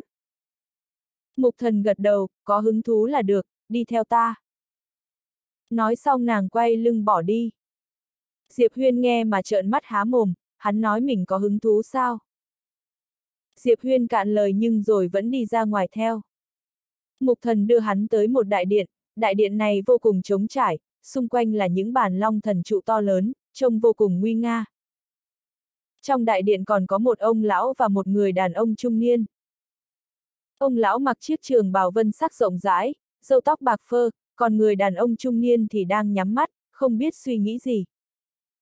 Diệp Huyên nhìn hai người, cả hai đều là niệm thông cảnh. Mục thần chợt lên tiếng, hắn chính là đệ tử chân truyền ta chọn. Nói xong nàng quay người đi, nhưng chưa đi được hai bước đã nhìn sang Diệp Huyên, đi thôi. Diệp Huyên ngây ra, thế là xong rồi hả? Mục thần gật đầu, đúng thế. Diệp Huyên. Mục thần không nói gì nữa, đi ra ngoài đại điện. Diệp Huyên do dự rồi cũng đi theo. Bên trong đại điện, ông lão tóc trắng chợt cười hỏi, Mục ca, người thấy thế nào? Người đàn ông trung niên tên Mục ca nhìn ra ngoài đại điện, nàng rất biết chọn người đấy. Ông lão tóc trắng cười nói, đúng thế, ta không thể nhìn thấu thiếu niên này, nhưng trực nói cho ta biết nếu chọn hắn thì mình có thể có được cơ hội rất lớn. Nhưng đi kèm với đó cũng có rủi ro nhất định. Mục ca trầm giọng bảo, nàng đang đặt cược. Ông lão tóc trắng nhún vai, là ta thì ta cũng cược. Mục ca nhìn lão, tông chủ theo như ta biết thì ngươi đã chọn được vận mệnh chi tử. Sao vẫn chưa đưa tới gặp mặt? Ông lão tóc trắng bật cười lớn tiếng, thời cơ chưa tới. Nói đến đây, lão nhìn người đàn ông trung niên, vậy người của ngươi đâu? Vẻ mặt người đàn ông trung niên bình tĩnh, hắn làm sao có thể so sánh với người của tông chủ được. Ông lão tóc trắng cười khẽ, sinh ra đã có mắt thần, đúng là nghìn năm vạn khó gặp. Mục ca khẽ cười, không nói gì. Ông lão tóc trắng quay đầu nhìn ra phía ngoài đại điện, nhẹ giọng cất lời, không biết người mục thần tìm về có lai lịch gì. Nghe vậy, mục ca cũng quay đầu nhìn ra phía ngoài đại điện, trong mắt hiện lên vẻ tò mò. Bên ngoài điện, mục thần dừng lại, ngẩng đầu nhìn lên bầu trời, không biết đang nghĩ gì. Diệp Huyên theo sau mục thần, nhìn nàng nhưng không lên tiếng. Lúc này, mục thần đột nhiên nói, chắc thời gian qua ngươi đã có sự hiểu biết nhất định về vũ trụ này rồi đúng không? Diệp Huyên gật đầu. Mục thần quay đầu lại nhìn hắn, có biết vì sao ta đưa ngươi tới đây không? Diệp Huyên do dự một chút, sau đó nói, không phải là cô muốn huấn luyện ta trở thành mạch chủ đời tiếp theo đấy chứ? Nghe vậy mục thần hơi ngẩn ra, hiển nhiên không ngờ lại nhận được câu trả lời này. Mục thần cứ nhìn Diệp Huyên như vậy, không lên tiếng. Diệp Huyên cười ngược, chẳng lẽ không phải sao? Mục thần khẽ nói, mạch chủ thánh mạch hư sung của ta chính là đệ tử mà ông lão vừa nãy thu nhận, người có biết đệ tử đó có lai lịch gì không? Diệp Huyên lắc đầu. Mục thần nói, đệ tử của ông ta là vận mệnh chi tử, người có biết thế nào là vận mệnh chi tử không? Diệp Huyên lại lắc đầu. Mục thần nhẹ giọng giải đáp, mỗi một người khi sinh ra thực ra đã có một loại vận mệnh. Rất nhiều người vừa ra đời đã được trời cao yêu ái, có được những thứ mà người khác phấn đấu cả mấy đời cũng không đạt được. Mà vận mệnh chi tử vừa sinh ra đã có chư thiên vạn giới đệ nhất thần thể, cũng chính là thần thể vận mệnh. Nói đến đây, nàng dừng lại, sau đó nhìn về phía Diệp Huyên, người biết thế nào là thần thể vận mệnh không? Diệp Huyên lắc đầu. Mục thần nhìn hắn, thần thể vận mệnh là một thể chất đặc biệt vô cùng thần bí, người có thể chất này khi sinh ra gần như đã là tồn tại bất khả chiến bại. Diệp Huyên khẽ nhíu mày, tại sao? Mục thần trả lời, bởi vì tất cả các điều ác đều không thể nhúng chàm được tới hắn, không chỉ vậy, bất cứ kẻ nào là kẻ thù của hắn cũng tương đương với việc đi ngược lại số mệnh, những người đó thường sẽ chết rất thảm. Dùng lời trong thế tục thì làm kẻ thù với hắn sẽ bị trả về trời. Chỉ có ai đạt đến niệm thông cảnh mới có thể miễn cưỡng chống lại vận mệnh chi lực đặc biệt trên người hắn. Diệp Huyên không nói gì. Mục thần lại nói, người đàn ông trung niên vừa nãy tên là Mục Ca, là một bậc thánh tôn của thánh mạch chúng ta, đệ tử mà ông ta thu nhận trời sinh đã có mắt thần, chắc ngươi cũng không biết mắt thần là gì đâu đúng không? Diệp Huyên gật đầu. Mục thần cười nhẹ, người có mắt thần là người có thần thuật. Loại người này tuy không thần bí như vận mệnh chi tử, nhưng đôi mắt của họ có sức mạnh vô cùng kinh khủng, sức mạnh ấy có từ khi sinh ra, còn vì sao lại có thì không ai biết, chỉ biết là sức mạnh này sẽ lớn dần theo ký chủ. Nói rồi nàng lại nhìn Diệp Huyên, biết vì sao ta nói với ngươi những điều này không? Diệp Huyên lắc đầu. Mục thần đáp, bây giờ ngươi đã là thành viên của thánh mạch ta, hơn nữa ngươi là người do ta nhận, tuy chúng ta ở cùng một mạch nhưng cũng có đấu tranh nội bộ, mà ta không hy vọng ngươi tranh chức mạch chủ thánh mạch với họ, ta cần ngươi kết bạn với họ, làm bạn với họ có lợi với ngươi. Nhưng Diệp Huyên lại lắc đầu. Mục thần khẽ nhíu mày. Diệp Huyên cười nói, ta kết bạn không cần nhìn thân phận và lai lịch của đối phương, vì trên thế gian này không ai có lai lịch mạnh hơn ta được cả. Tiểu tháp. Mục thần nhìn Diệp Huyên, người nghiêm túc đấy à? Diệp Huyên gật đầu. Mục thần im lặng. Diệp Huyên đột nhiên hỏi, ta nên gọi cô là gì? Mục thần nói, người có thể gọi ta là sư phụ. Diệp Huyên lắc đầu, đổi cách gọi khác được không? Mục thần liếc nhìn hắn, họ đều gọi ta là mục thần. Diệp Huyên khẽ gật đầu, mục cô nương, vì sao cô lại nhận ta làm đồ đệ? Ta rất muốn biết điều này. Sau một lúc im lặng, mục thần nói, khi nhìn thấy ngươi, ngươi đã cho ta một cảm giác rất đặc biệt, cảm giác này nói cho biết biết đi theo ngươi sẽ có lợi cho ta, chỉ đơn giản vậy thôi. Diệp Huyên khẽ nhíu mày, đi theo ta có lợi cho cô. Mục thần gật đầu, ta tin vào cảm giác này, vì đây là một năng lực đặc biệt của niệm thông cảnh. Đương nhiên, lợi ích này lớn nhường nào thì ta không thể biết, không chỉ vậy, lợi ích luôn luôn đi cùng với một số nguy hiểm. Nhưng cuối cùng ta vẫn quyết định đặt cược. Diệp Huyên, tại sao? Mục thần nhìn Diệp Huyên, vì ngươi rất biết ăn nói. Nói xong nàng quay lưng bỏ đi. Diệp Huyên, lúc này, mục thần lại đột nhiên nói, đừng tùy tiện ra khỏi thánh mạch, bây giờ hẳn là ngươi đã có tên trong danh sách của ma mạch, nếu ra ngoài chắc chắn bọn họ sẽ giết ngươi. Diệp Huyên hỏi, thánh mạch mạnh hơn hay ma mạch mạnh hơn? Mục thần trả lời, ma mạch mạnh hơn một chút. Diệp Huyên nhíu mày, các cô đã có thiên tài yêu nghiệt đáng sợ như vậy rồi mà vẫn chưa thể so được với ma mạch à. Mục thần đột nhiên dừng lại, quay người nhìn Diệp Huyên, ma mạch còn có yêu nghiệt đáng sợ hơn. Diệp Huyên hơi tò mò, có thể nói cho ta nghe không? Mục thần im lặng. Diệp Huyên hỏi, không được à?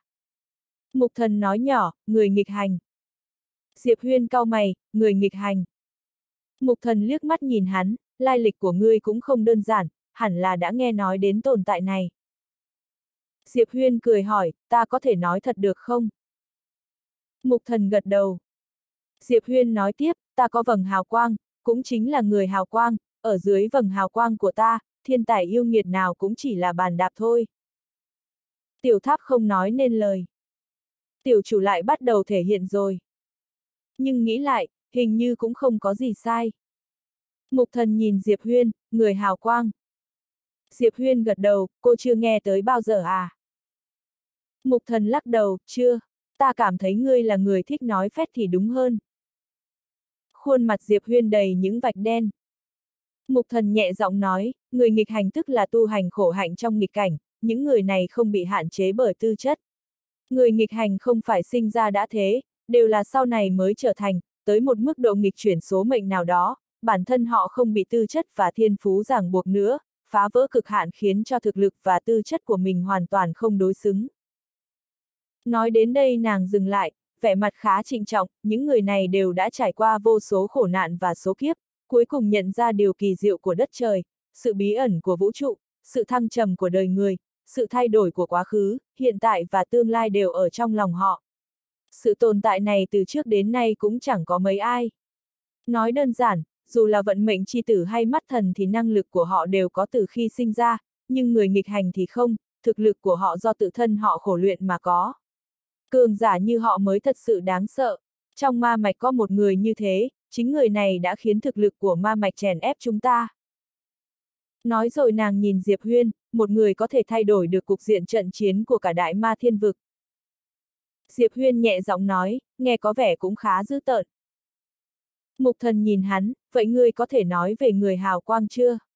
Thật ra ra hơi tò mò về người có hào quang mà ngươi nói, nhưng ta chưa nghe tới bao giờ, không chỉ vậy, trong một số sử sách cổ đại cũng chưa chắc có ghi. Ngươi có thể nói không? Người hào quang. Diệp Huyên im lặng một lúc, thì thầm trong lòng, tiểu tháp, ngươi có thể nói không? Thật ra ta cũng muốn biết. Tiểu tháp suy tư giây lát, rất đơn giản, lần sau khi người gặp thiên mệnh tỷ tỷ, chỉ cần nói một câu với tỷ ấy rằng người không vừa mắt với vũ trụ vô tận này. Như vậy câu chuyện của chúng ta sẽ được kết thúc ngay luôn. Diệp Huyên, quỳ nhầm người rồi. Mắt thần có hơi lúng túng, y vội xoay người lại nhìn ngự thiên thần, sư phụ. Nói rồi, y lại dập đầu bồm bộp mấy cái. Ngự thiên thần nhìn mắt thần trước mắt, im lặng một lúc rồi mới nói, truyền thừa của ta có thể sẽ giúp ích cho ngươi, nhưng cũng có thể sẽ hạn chế ngươi lại, ngươi hiểu ý ta không? Mắt thần lắc đầu, không hiểu. Diệp Huyên có chút nhức đầu. Vẻ mặt ngự thiên thần cũng sượng lại, nhưng chẳng mấy chốc ông ấy đã nở nụ cười, hiểu thì nói hiểu, không hiểu thì nhận không hiểu, được lắm. Nói rồi, ông ấy xòe tay ra, một chiếc nhẫn chứa đồ chậm rãi bay đến trước mặt mắt thần, truyền thừa của ta đều ở trong chiếc nhẫn chứa đồ này. Mắt thần nhìn về phía ngự thiên thần, nghiêm túc nói, ta sẽ dốc toàn lực làm dạng dỡ đạo thống của sư tôn, tuyệt không khiến người thất vọng. Ngự thiên thần khẽ mỉm cười, được lắm.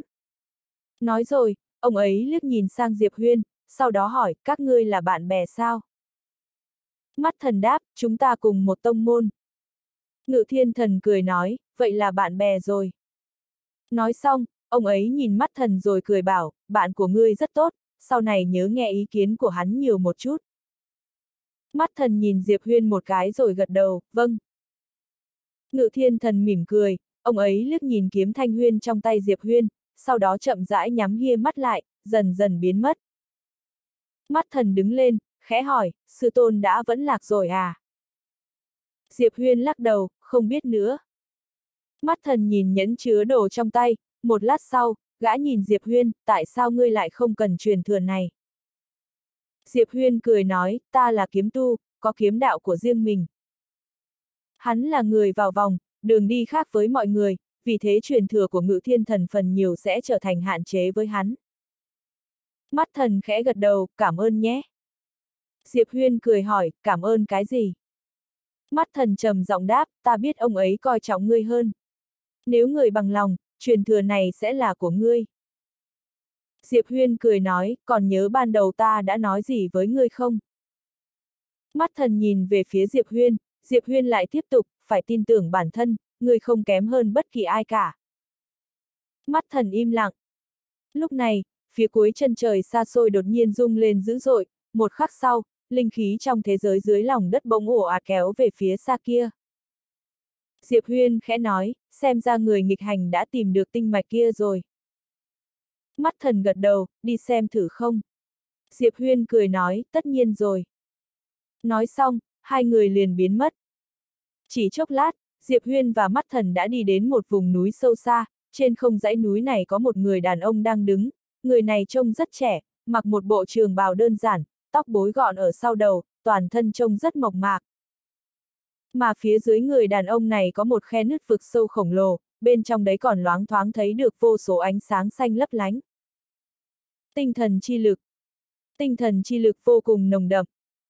Người đàn ông kia vẫn đang đưa mắt nhìn xuống khe nứt, không hề để tâm đến Diệp Huyên và mắt thần. Diệp Huyên quan sát y một chút thì thấy hơi ngạc nhiên, đây là người nghịch hành đó sao? Lúc này, khe nứt phía dưới đang ngày càng rộng ra, cùng lúc đó, một tinh mạch khổng lồ chôn sâu dưới nền đất cũng chậm rãi bay lên, lúc này đây, toàn bộ thế giới dưới lòng đất bắt đầu rung chuyển kịch liệt. Người đàn ông nhìn xuống dưới, vẻ mặt vẫn bình tĩnh. Mắt thần đột nhiên nói, vận mệnh chi tử đâu rồi? Diệp Huyên đưa mắt nhìn xung quanh, cười nói, hẳn là đã đến rồi. Mắt thần nhìn về phía Diệp Huyên, ở ngay đây. Diệp Huyên gật đầu. Mắt thần do dự một lát rồi hỏi, Diệp Huynh, sao người biết? Diệp Huyên có chút cạn lời, tất nhiên là ta đoán rồi. Tên vận mệnh chi tử kia còn đi đâu được chứ? Tất nhiên là chỉ có thể ở đây thôi. Đúng lúc này, khe hở phía dưới đã hoàn toàn nứt toác, tinh mạch kia chậm rãi bay lên, mà lúc này, thời không trước mặt người nghịch hành không xa bỗng dạn nứt, một khắc sau, một người đàn ông khác bước ra. Người đàn ông này thân mang áo bào trắng, hai tay chấp sau lưng, trên mặt là nụ cười thong dong. Vận mệnh chi tử. Diệp Huyên đánh giá vận mệnh chi tử kia một chút, tên này nhìn thì có phong thái của cường giả đấy, không biết thực lực ra sao. Người nghịch hành kia liếc nhìn vận mệnh chi tử một cái rồi thôi, gã ta lại nhìn xuống tinh mạch ở phía dưới, sau đó xòe tay ra, một cái bình ngọc màu trắng xuất hiện trong tay gã, ngay lúc gã ta định thu lấy tinh mạch kia thì nó bỗng rung lên dữ dội, sau đó lao nhanh về phía vận mệnh chi tử. Rõ ràng tinh mạch này muốn chọn vận mệnh chi tử. Người nghịch hành nhìn về phía vận mệnh chi tử, vận mệnh chi tử cười nói, tinh mạch có linh, nó muốn theo ta. Người nghịch hành thu lại bình ngọc, gã ta bước chậm về phía vận mệnh chi tử, mà đúng lúc này, thời không trên đỉnh đầu gã ta đột nhiên nứt ra, một khắc sau, một đám mây dày đặc bóng xuất hiện trên đầu gã, trong mây còn có vô số thần lôi lấp lóe. Cảnh cáo, đây không phải do vận mệnh chi tử làm, mà là lời cảnh cáo từ vận mệnh chân chính. Nhìn thấy cảnh này, trong mắt Diệp Huyên ánh lên một tia kinh ngạc, tiểu tháp, hình như tên kia cũng ra gì và này nọ đấy. Tiểu tháp nói, địa vị của y tương đương với thái tử đó. Diệp Huyên có chút không rõ, thái tử á hả? Tiểu tháp giải thích, nói đơn giản là rất rất đáng gờm, không ai có thể đối nghịch, phàm là người trái ý y thì cũng có nghĩa là trái ý với trời, hiểu chưa? Diệp Huyên suy nghĩ một chút rồi hỏi, vậy là còn ghê gớm hơn người hào quang nữa à? Tiểu tháp khinh thường nói, thái tử mà không có hào quang thêm vào thì cũng là đống rác thôi, cũng giống hoàng đế mà không có binh quyền vậy đấy, nhìn thì oách, nhưng thực tế lại chẳng có quyền lực gì to tát. Diệp Huyên gật đầu, đã hiểu. Tiểu tháp, đôi lúc người cũng có ích đó. Tiểu tháp. Lúc này, người nghịch hành ở phía xa đột nhiên dừng bước, gã ta ngẩng đầu nhìn tầng mây đen xì ở chân trời, gã khẽ gảy ngón tay, một tia sáng trắng liền bắn thẳng lên trời cao. ầm, um. Tia sáng trắng kia nhanh chóng chui vào lớp mây, chỉ chốc lát, đám mây đó đã bị oanh tạc, vô số thần lôi nháy mắt đã biến thành hư vô. Cưỡng chế tiêu hủy. Thấy cảnh ấy, sắc mặt mắt thần ở bên cạnh Diệp Huyên lập tức trở nên nghiêm lại, Diệp Huynh, tên này hơi bị mạnh. Ngươi có đánh thắng được không? Diệp Huyên gật đầu, không thành vấn đề. Lúc này, người nghịch hành ở phía xa đột nhiên dừng bước lại, gã ta quay sang nhìn Diệp Huyên, vẻ mặt rất bình tĩnh, nhưng đôi tay đã siết chặt lại. Mí mắt Diệp Huyên giật giật, tên này chắc không đánh mình đâu nhỉ. Đúng lúc này, người nghịch hành đột nhiên lại quay sang nhìn vận mệnh chi tử, sau đó gã ta đột nhiên tung ra một cú đấm. Một đấm rất đơn giản. Cú đấm này vừa được tung ra, toàn bộ tâm thế giới liền trở nên hư ảo, mà thời không xung quanh vận mệnh chi tử cũng bắt đầu bị tiêu hủy một cách nhanh chóng. Mà vận mệnh chi tử lại chẳng hề hấn gì. Bởi vì y không còn ở trong thời không bị tiêu hủy kia nữa, nhưng khi y vừa sang mảnh thời không khác thì thời không nơi đó cũng nhanh chóng bị tiêu diệt. Nên y buộc phải lập tức dịch chuyển sang một thời không khác. Thế là nơi đây xuất hiện một cảnh tượng khá quỷ dị, vận mệnh chi tử không ngừng nhảy khỏi thời không, nhưng mỗi thời không y nhảy vào đều sẽ bị tiêu hủy ngay tức khắc. Thấy cảnh này, vẻ mặt của mắt thần và Diệp Huyên lại lần nữa trở nên nghiêm nghị. Hai người kia đều mạnh. Lúc này, người nghịch hành đột nhiên khép tay phải lại đưa lên giữa chán, một khắc sau, gã nhẹ nhàng hất tay ra. Xoẹt. Vào lúc này, vô số thời không lập tức nứt ra, tốc độ chém thời không của gã nhanh hơn với tốc độ nhảy khỏi thời không của vận mệnh chi tử. Phía xa xa, trong mắt của vận mệnh chi tử đột nhiên co rụt lại, tay phải xòe ra, sau đó chỉ về phía trước một cái, một luồng sức mạnh to lớn bộc phát ra từ đầu ngón tay của y. Chỉ chốc lát, vô vàn sức mạnh trong vô số thời không nhanh chóng ùa đến tụ lại trước đầu ngón tay của y. Một ngón tay này đã nhận được sự hỗ trợ từ chư thiên vạn giới. Thấy thế, Diệp Huyên và mắt thần phải đưa mắt nhìn nhau, không thể không nói, vận mệnh chi tử này đúng là có chút tà môn. Lúc này, sau khi đã chém hết không gian trước mặt vận mệnh chi tử xong, người nghịch hành lại tiếp tục tung một quyền ra. Đối đầu trực diện. Dùng sức một người để chống lại lực lượng của chư thiên vạn giới. Trong mắt của Diệp Huyên và mắt thần phản chiếu hình ảnh một nắm đấm và một ngón tay va chạm vào nhau, tích tắc sau. ầm, um. Thời không xung quanh vận mệnh chi tử bốc cháy lên, sau đó hóa thành than cho, không chỉ thế, thân thể của vận mệnh chi tử cũng đang bị đánh bay lùi liên tục, xuyên thẳng qua vô số thời không, mỗi tầng thời không y xuyên qua đều lập tức đổ vỡ. Sức mạnh trong cú đấm của người nghịch hành thật sự quá mạnh. Vẻ mặt của vận mệnh chi tử cũng dần trở nên nghiêm trọng. Đúng lúc này, đầu ngón tay của y đột nhiên chậm rãi bốc cháy, cùng lúc đó, sức mạnh tụ trên đầu ngón cũng bắt đầu tán loạn, không chỉ thế, trong vô số thế giới không thể nhìn thấy được cũng đang từ từ bốc cháy lên. Cú đấm này không chỉ nhắm vào vận mệnh chi tử, mà còn nhắm vào chư thiên vạn giới đang giúp đỡ y. Diệp Huyên và mắt thần nhìn nhau một chốc, vẻ mặt mắt thần trở nên cực kỳ nghiêm nghị, Diệp Huynh. Chắc, chắc là đánh không lại đâu. Thế lát nữa, ta vẫn phải đánh với gã à. Diệp Huyên. Vận mệnh chi tử ở phía xa đột nhiên dẫm chân phải xuống. ầm, um. Nơi bàn chân y dẫm xuống, mảnh thời không nơi đó lập tức hóa thành hư vô. Lúc này, giữa lông mày vận mệnh chi tử đột nhiên nứt ra, một khắc sau, một tia sáng đỏ bỗng bắn mạnh ra từ giữa hàng mày của y. Xoẹt! Tia sáng đỏ kia đánh thẳng về hướng giữa cặp mày của người nghịch hành, trong nháy mắt tia sáng đỏ kia xuất hiện, bốn phía xung quanh hai người chợt trở nên hư ảo, căn bản nơi đây không chịu nổi được sức mạnh to lớn của tia sáng kia. Diệp Huyên nhìn chằm chằm vào tia sáng đỏ đó, tia sáng kia e là có thể chém giết được cả một vài cường giả niệm thông cảnh.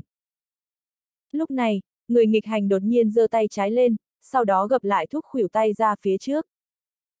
Không có động tác màu mè dư thừa nào, chỉ là một cú thúc ra đơn giản. ầm, um, Tia hồng quang kia bị thúc vỡ. Thấy cảnh ấy, trong mắt của vận mệnh chi tử đột nhiên co rụt lại, y đang định ra tay tiếp thì đúng lúc này, người nghịch hành đột nhiên bước ra trước một bước, một khắc sau, gã đã bóp chặt lấy cuống họng của vận mệnh chi tử. Thua! Xung quanh chợt trở nên yên tĩnh.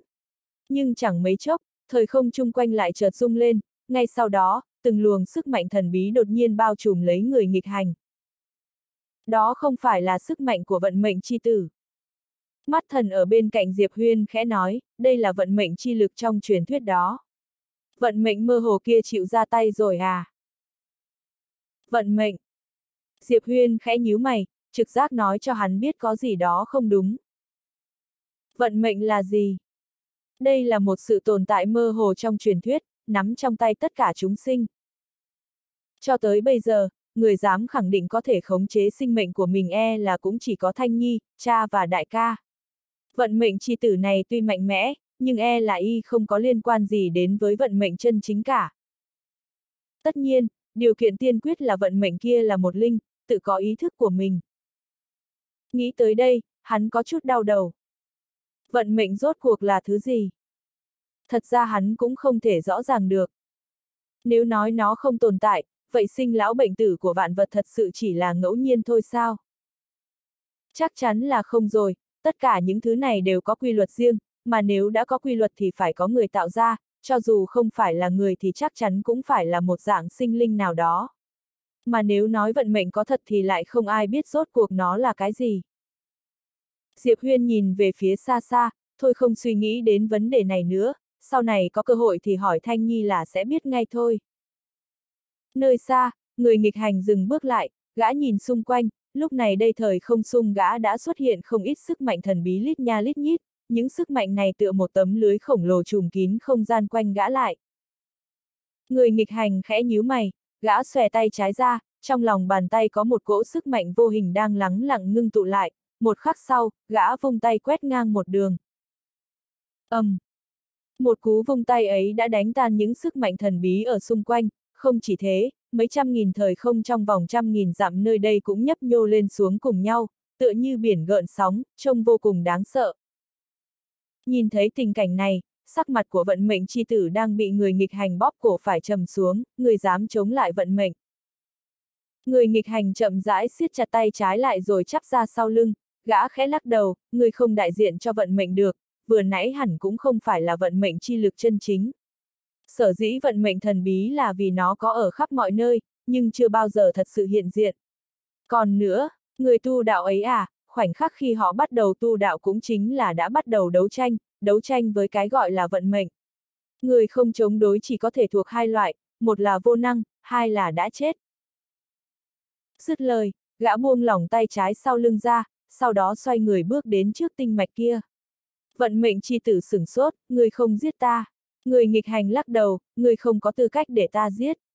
Sắc mặt của vận mệnh chi tử nháy mắt trở nên khó coi. Câu nói này còn khiến y khó chịu hơn cả việc bị giết. Đây là sỉ nhục. Không đúng, là không hề để y vào mắt. Là thiên tài đứng đầu của thánh mạch, từ khi sinh ra y đã bị đem đi so sánh với người nghịch hành, xem rằng y với gã ai mới là thiên tài yêu nghiệt nhất đại ma thiên vực. Mà y cũng muốn đánh với người nghịch hành một trận, dưới cái nhìn của y, trong thế hệ trẻ ở vũ trụ này, không ai là đối thủ của y cả, nhưng sự thật tàn khốc, y mới là không phải đối thủ của người nghịch hành. Đối phương còn không thèm giết y. Ở một bên, mắt thần đứng cạnh Diệp Huyên khẽ nói, tâm cảnh của y sẽ xảy ra vấn đề gì không? Diệp Huyên liếc nhìn vận mệnh chi tử, nếu đây là lần đầu y thất bại, vậy chắc chắn sẽ xảy ra vấn đề. Người như y chưa từng bị xã hội trà đạp, một khi gặp phải thất bại thì sẽ phủ định bản thân, sau đó để tâm những chuyện vụn vặt. Nói rồi, hắn lắc đầu thở dài. Chuyện như vậy, người ngoài căn bản không can thiệp vào được, một khi can thiệp vào có khi còn bị đối phương ghi hận ngược lại. Mắt thần đột nhiên, Diệp Huynh, người từng bị xã hội trà đạp rồi ư. Diệp Huyên nghiêm mặt nói, sao có thể? Từ trước đến nay ta luôn vô địch, nhất là trong thế hệ trẻ, hoàn toàn không có đối thủ. Mắt thần. Lúc này, người nghịch hành đã thu được tinh mạch vào trong nhẫn chứa đồ, mục đích chuyến này của gã là tinh mạch, sau khi có được nó, gã liền định rời đi. Nhưng lúc này, gã như bỗng nghĩ đến chuyện gì đó, thế là xoay người lại nhìn mắt thần, nghe nói mắt thần người rất bất phàm, có thể cho ta lĩnh giáo một lần không? Mắt thần trầm mặc. Diệp Huyên kéo kéo ống tay áo mắt thần, đừng sợ, đánh gã đi. Mắt thần khẽ gật đầu, y đi đến chỗ người nghịch hành, sau đó chậm rãi nhắm hai mắt lại, một khắc sau, y đột nhiên mở mắt ra, khoảnh khắc y mở mắt, có hai luồng sáng đỏ bắn ra từ hai tròng mắt của y. Theo sự xuất hiện của hai luồng sáng đỏ đó, trong phút chốc, mảnh thời không trước mặt y lập tức hóa thành hư vô. Phía xa xa, người nghịch hành mở tay phải ra, sau đó nhẹ nhàng ép về phía trước một cái. ầm, um.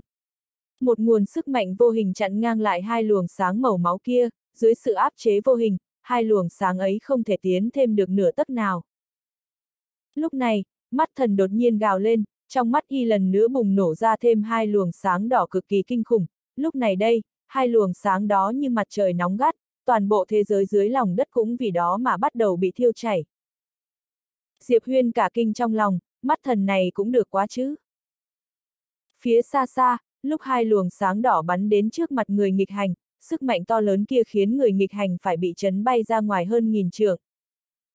Sau khi người nghịch hành dừng lại, gã chỉ bước lên trước một bước, sau đó tung quyền ra. ầm, um, hai luồng sáng đỏ kia lập tức hóa thành hư vô. Mắt thần liền bị đánh bay ngược ra ngoài, nhưng chẳng mấy chốc, có một cánh tay đã kéo y lại. Chính là Diệp Huyên. Diệp Huyên nhìn về phía mắt thần, mắt thần đang khép hờ hai mắt, nơi khóe mi đã có hai hàng huyết dịch chậm rãi chảy xuống.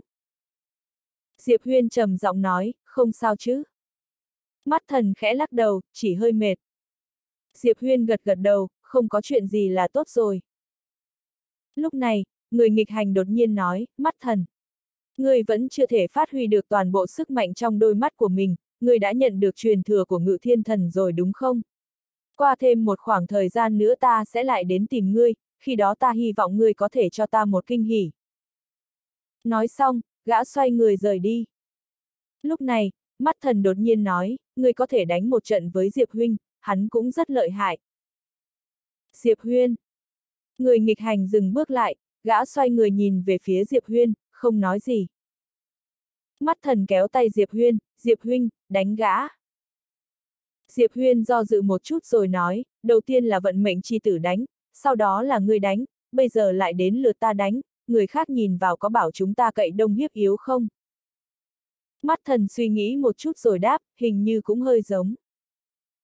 Diệp Huyên đang định nói tiếp thì người nghịch hành kia đột nhiên xen lời vào, không đâu. Diệp Huyên nhìn về phía người nghịch hành, người nghịch hành nói, vừa nãy đánh hai người họ ta vẫn chưa dùng lực gì nhiều, người đánh với ta không cần phải thấy nặng lòng gì đâu. Mắt thần ở bên cạnh Diệp Huyên nghe thế liền nhảy vào, đánh gã ngay đi. Diệp Huyên cười cười, sau đó hắn đứng dậy đi về phía người nghịch hành, thế này đi, chúng ta dùng một chiêu phân định thắng bại, ngươi thấy được không? Người nghịch hành nhìn Diệp Huyên, được thôi. Diệp Huyên xòe tay ra, kiếm thanh huyên xuất hiện trong tay hắn, hắn nhìn người nghịch hành rồi cười nói, đến nay vẫn chưa có ai có thể đỡ được một chiêu kiếm của ta, hy vọng ngươi không khiến ta thất vọng. Người nghịch hành khẽ gật đầu, ta biết ngươi đang chơi trò khích tướng, vậy ta đồng ý tiếp một chiêu kiếm của ngươi, hy vọng ngươi không khiến ta thất vọng. Ngươi mà khiến ta thấy thất vọng, ta sẽ giết ngươi. Diệp Huyên có chút không hiểu, tại sao? Người nghịch hành nhìn Diệp Huyên, hai người bọn họ mặc dù thua ta, nhưng không hề ăn nói hàm hồ, mà ngươi thì từ đầu đến giờ toàn nói năng nhảm nhí, ta ghét nhất là loại người như vậy. Diệp Huyên cười ha ha, vậy ta xuất kiếm nhé. Người nghịch hành gật đầu, đến đây đi. Diệp Huyên đột nhiên bước ra trước một bước, ngón tay trái khẽ gảy một cái. ầm. Um. Audio điện tử võ tấn bền. Hết tập 182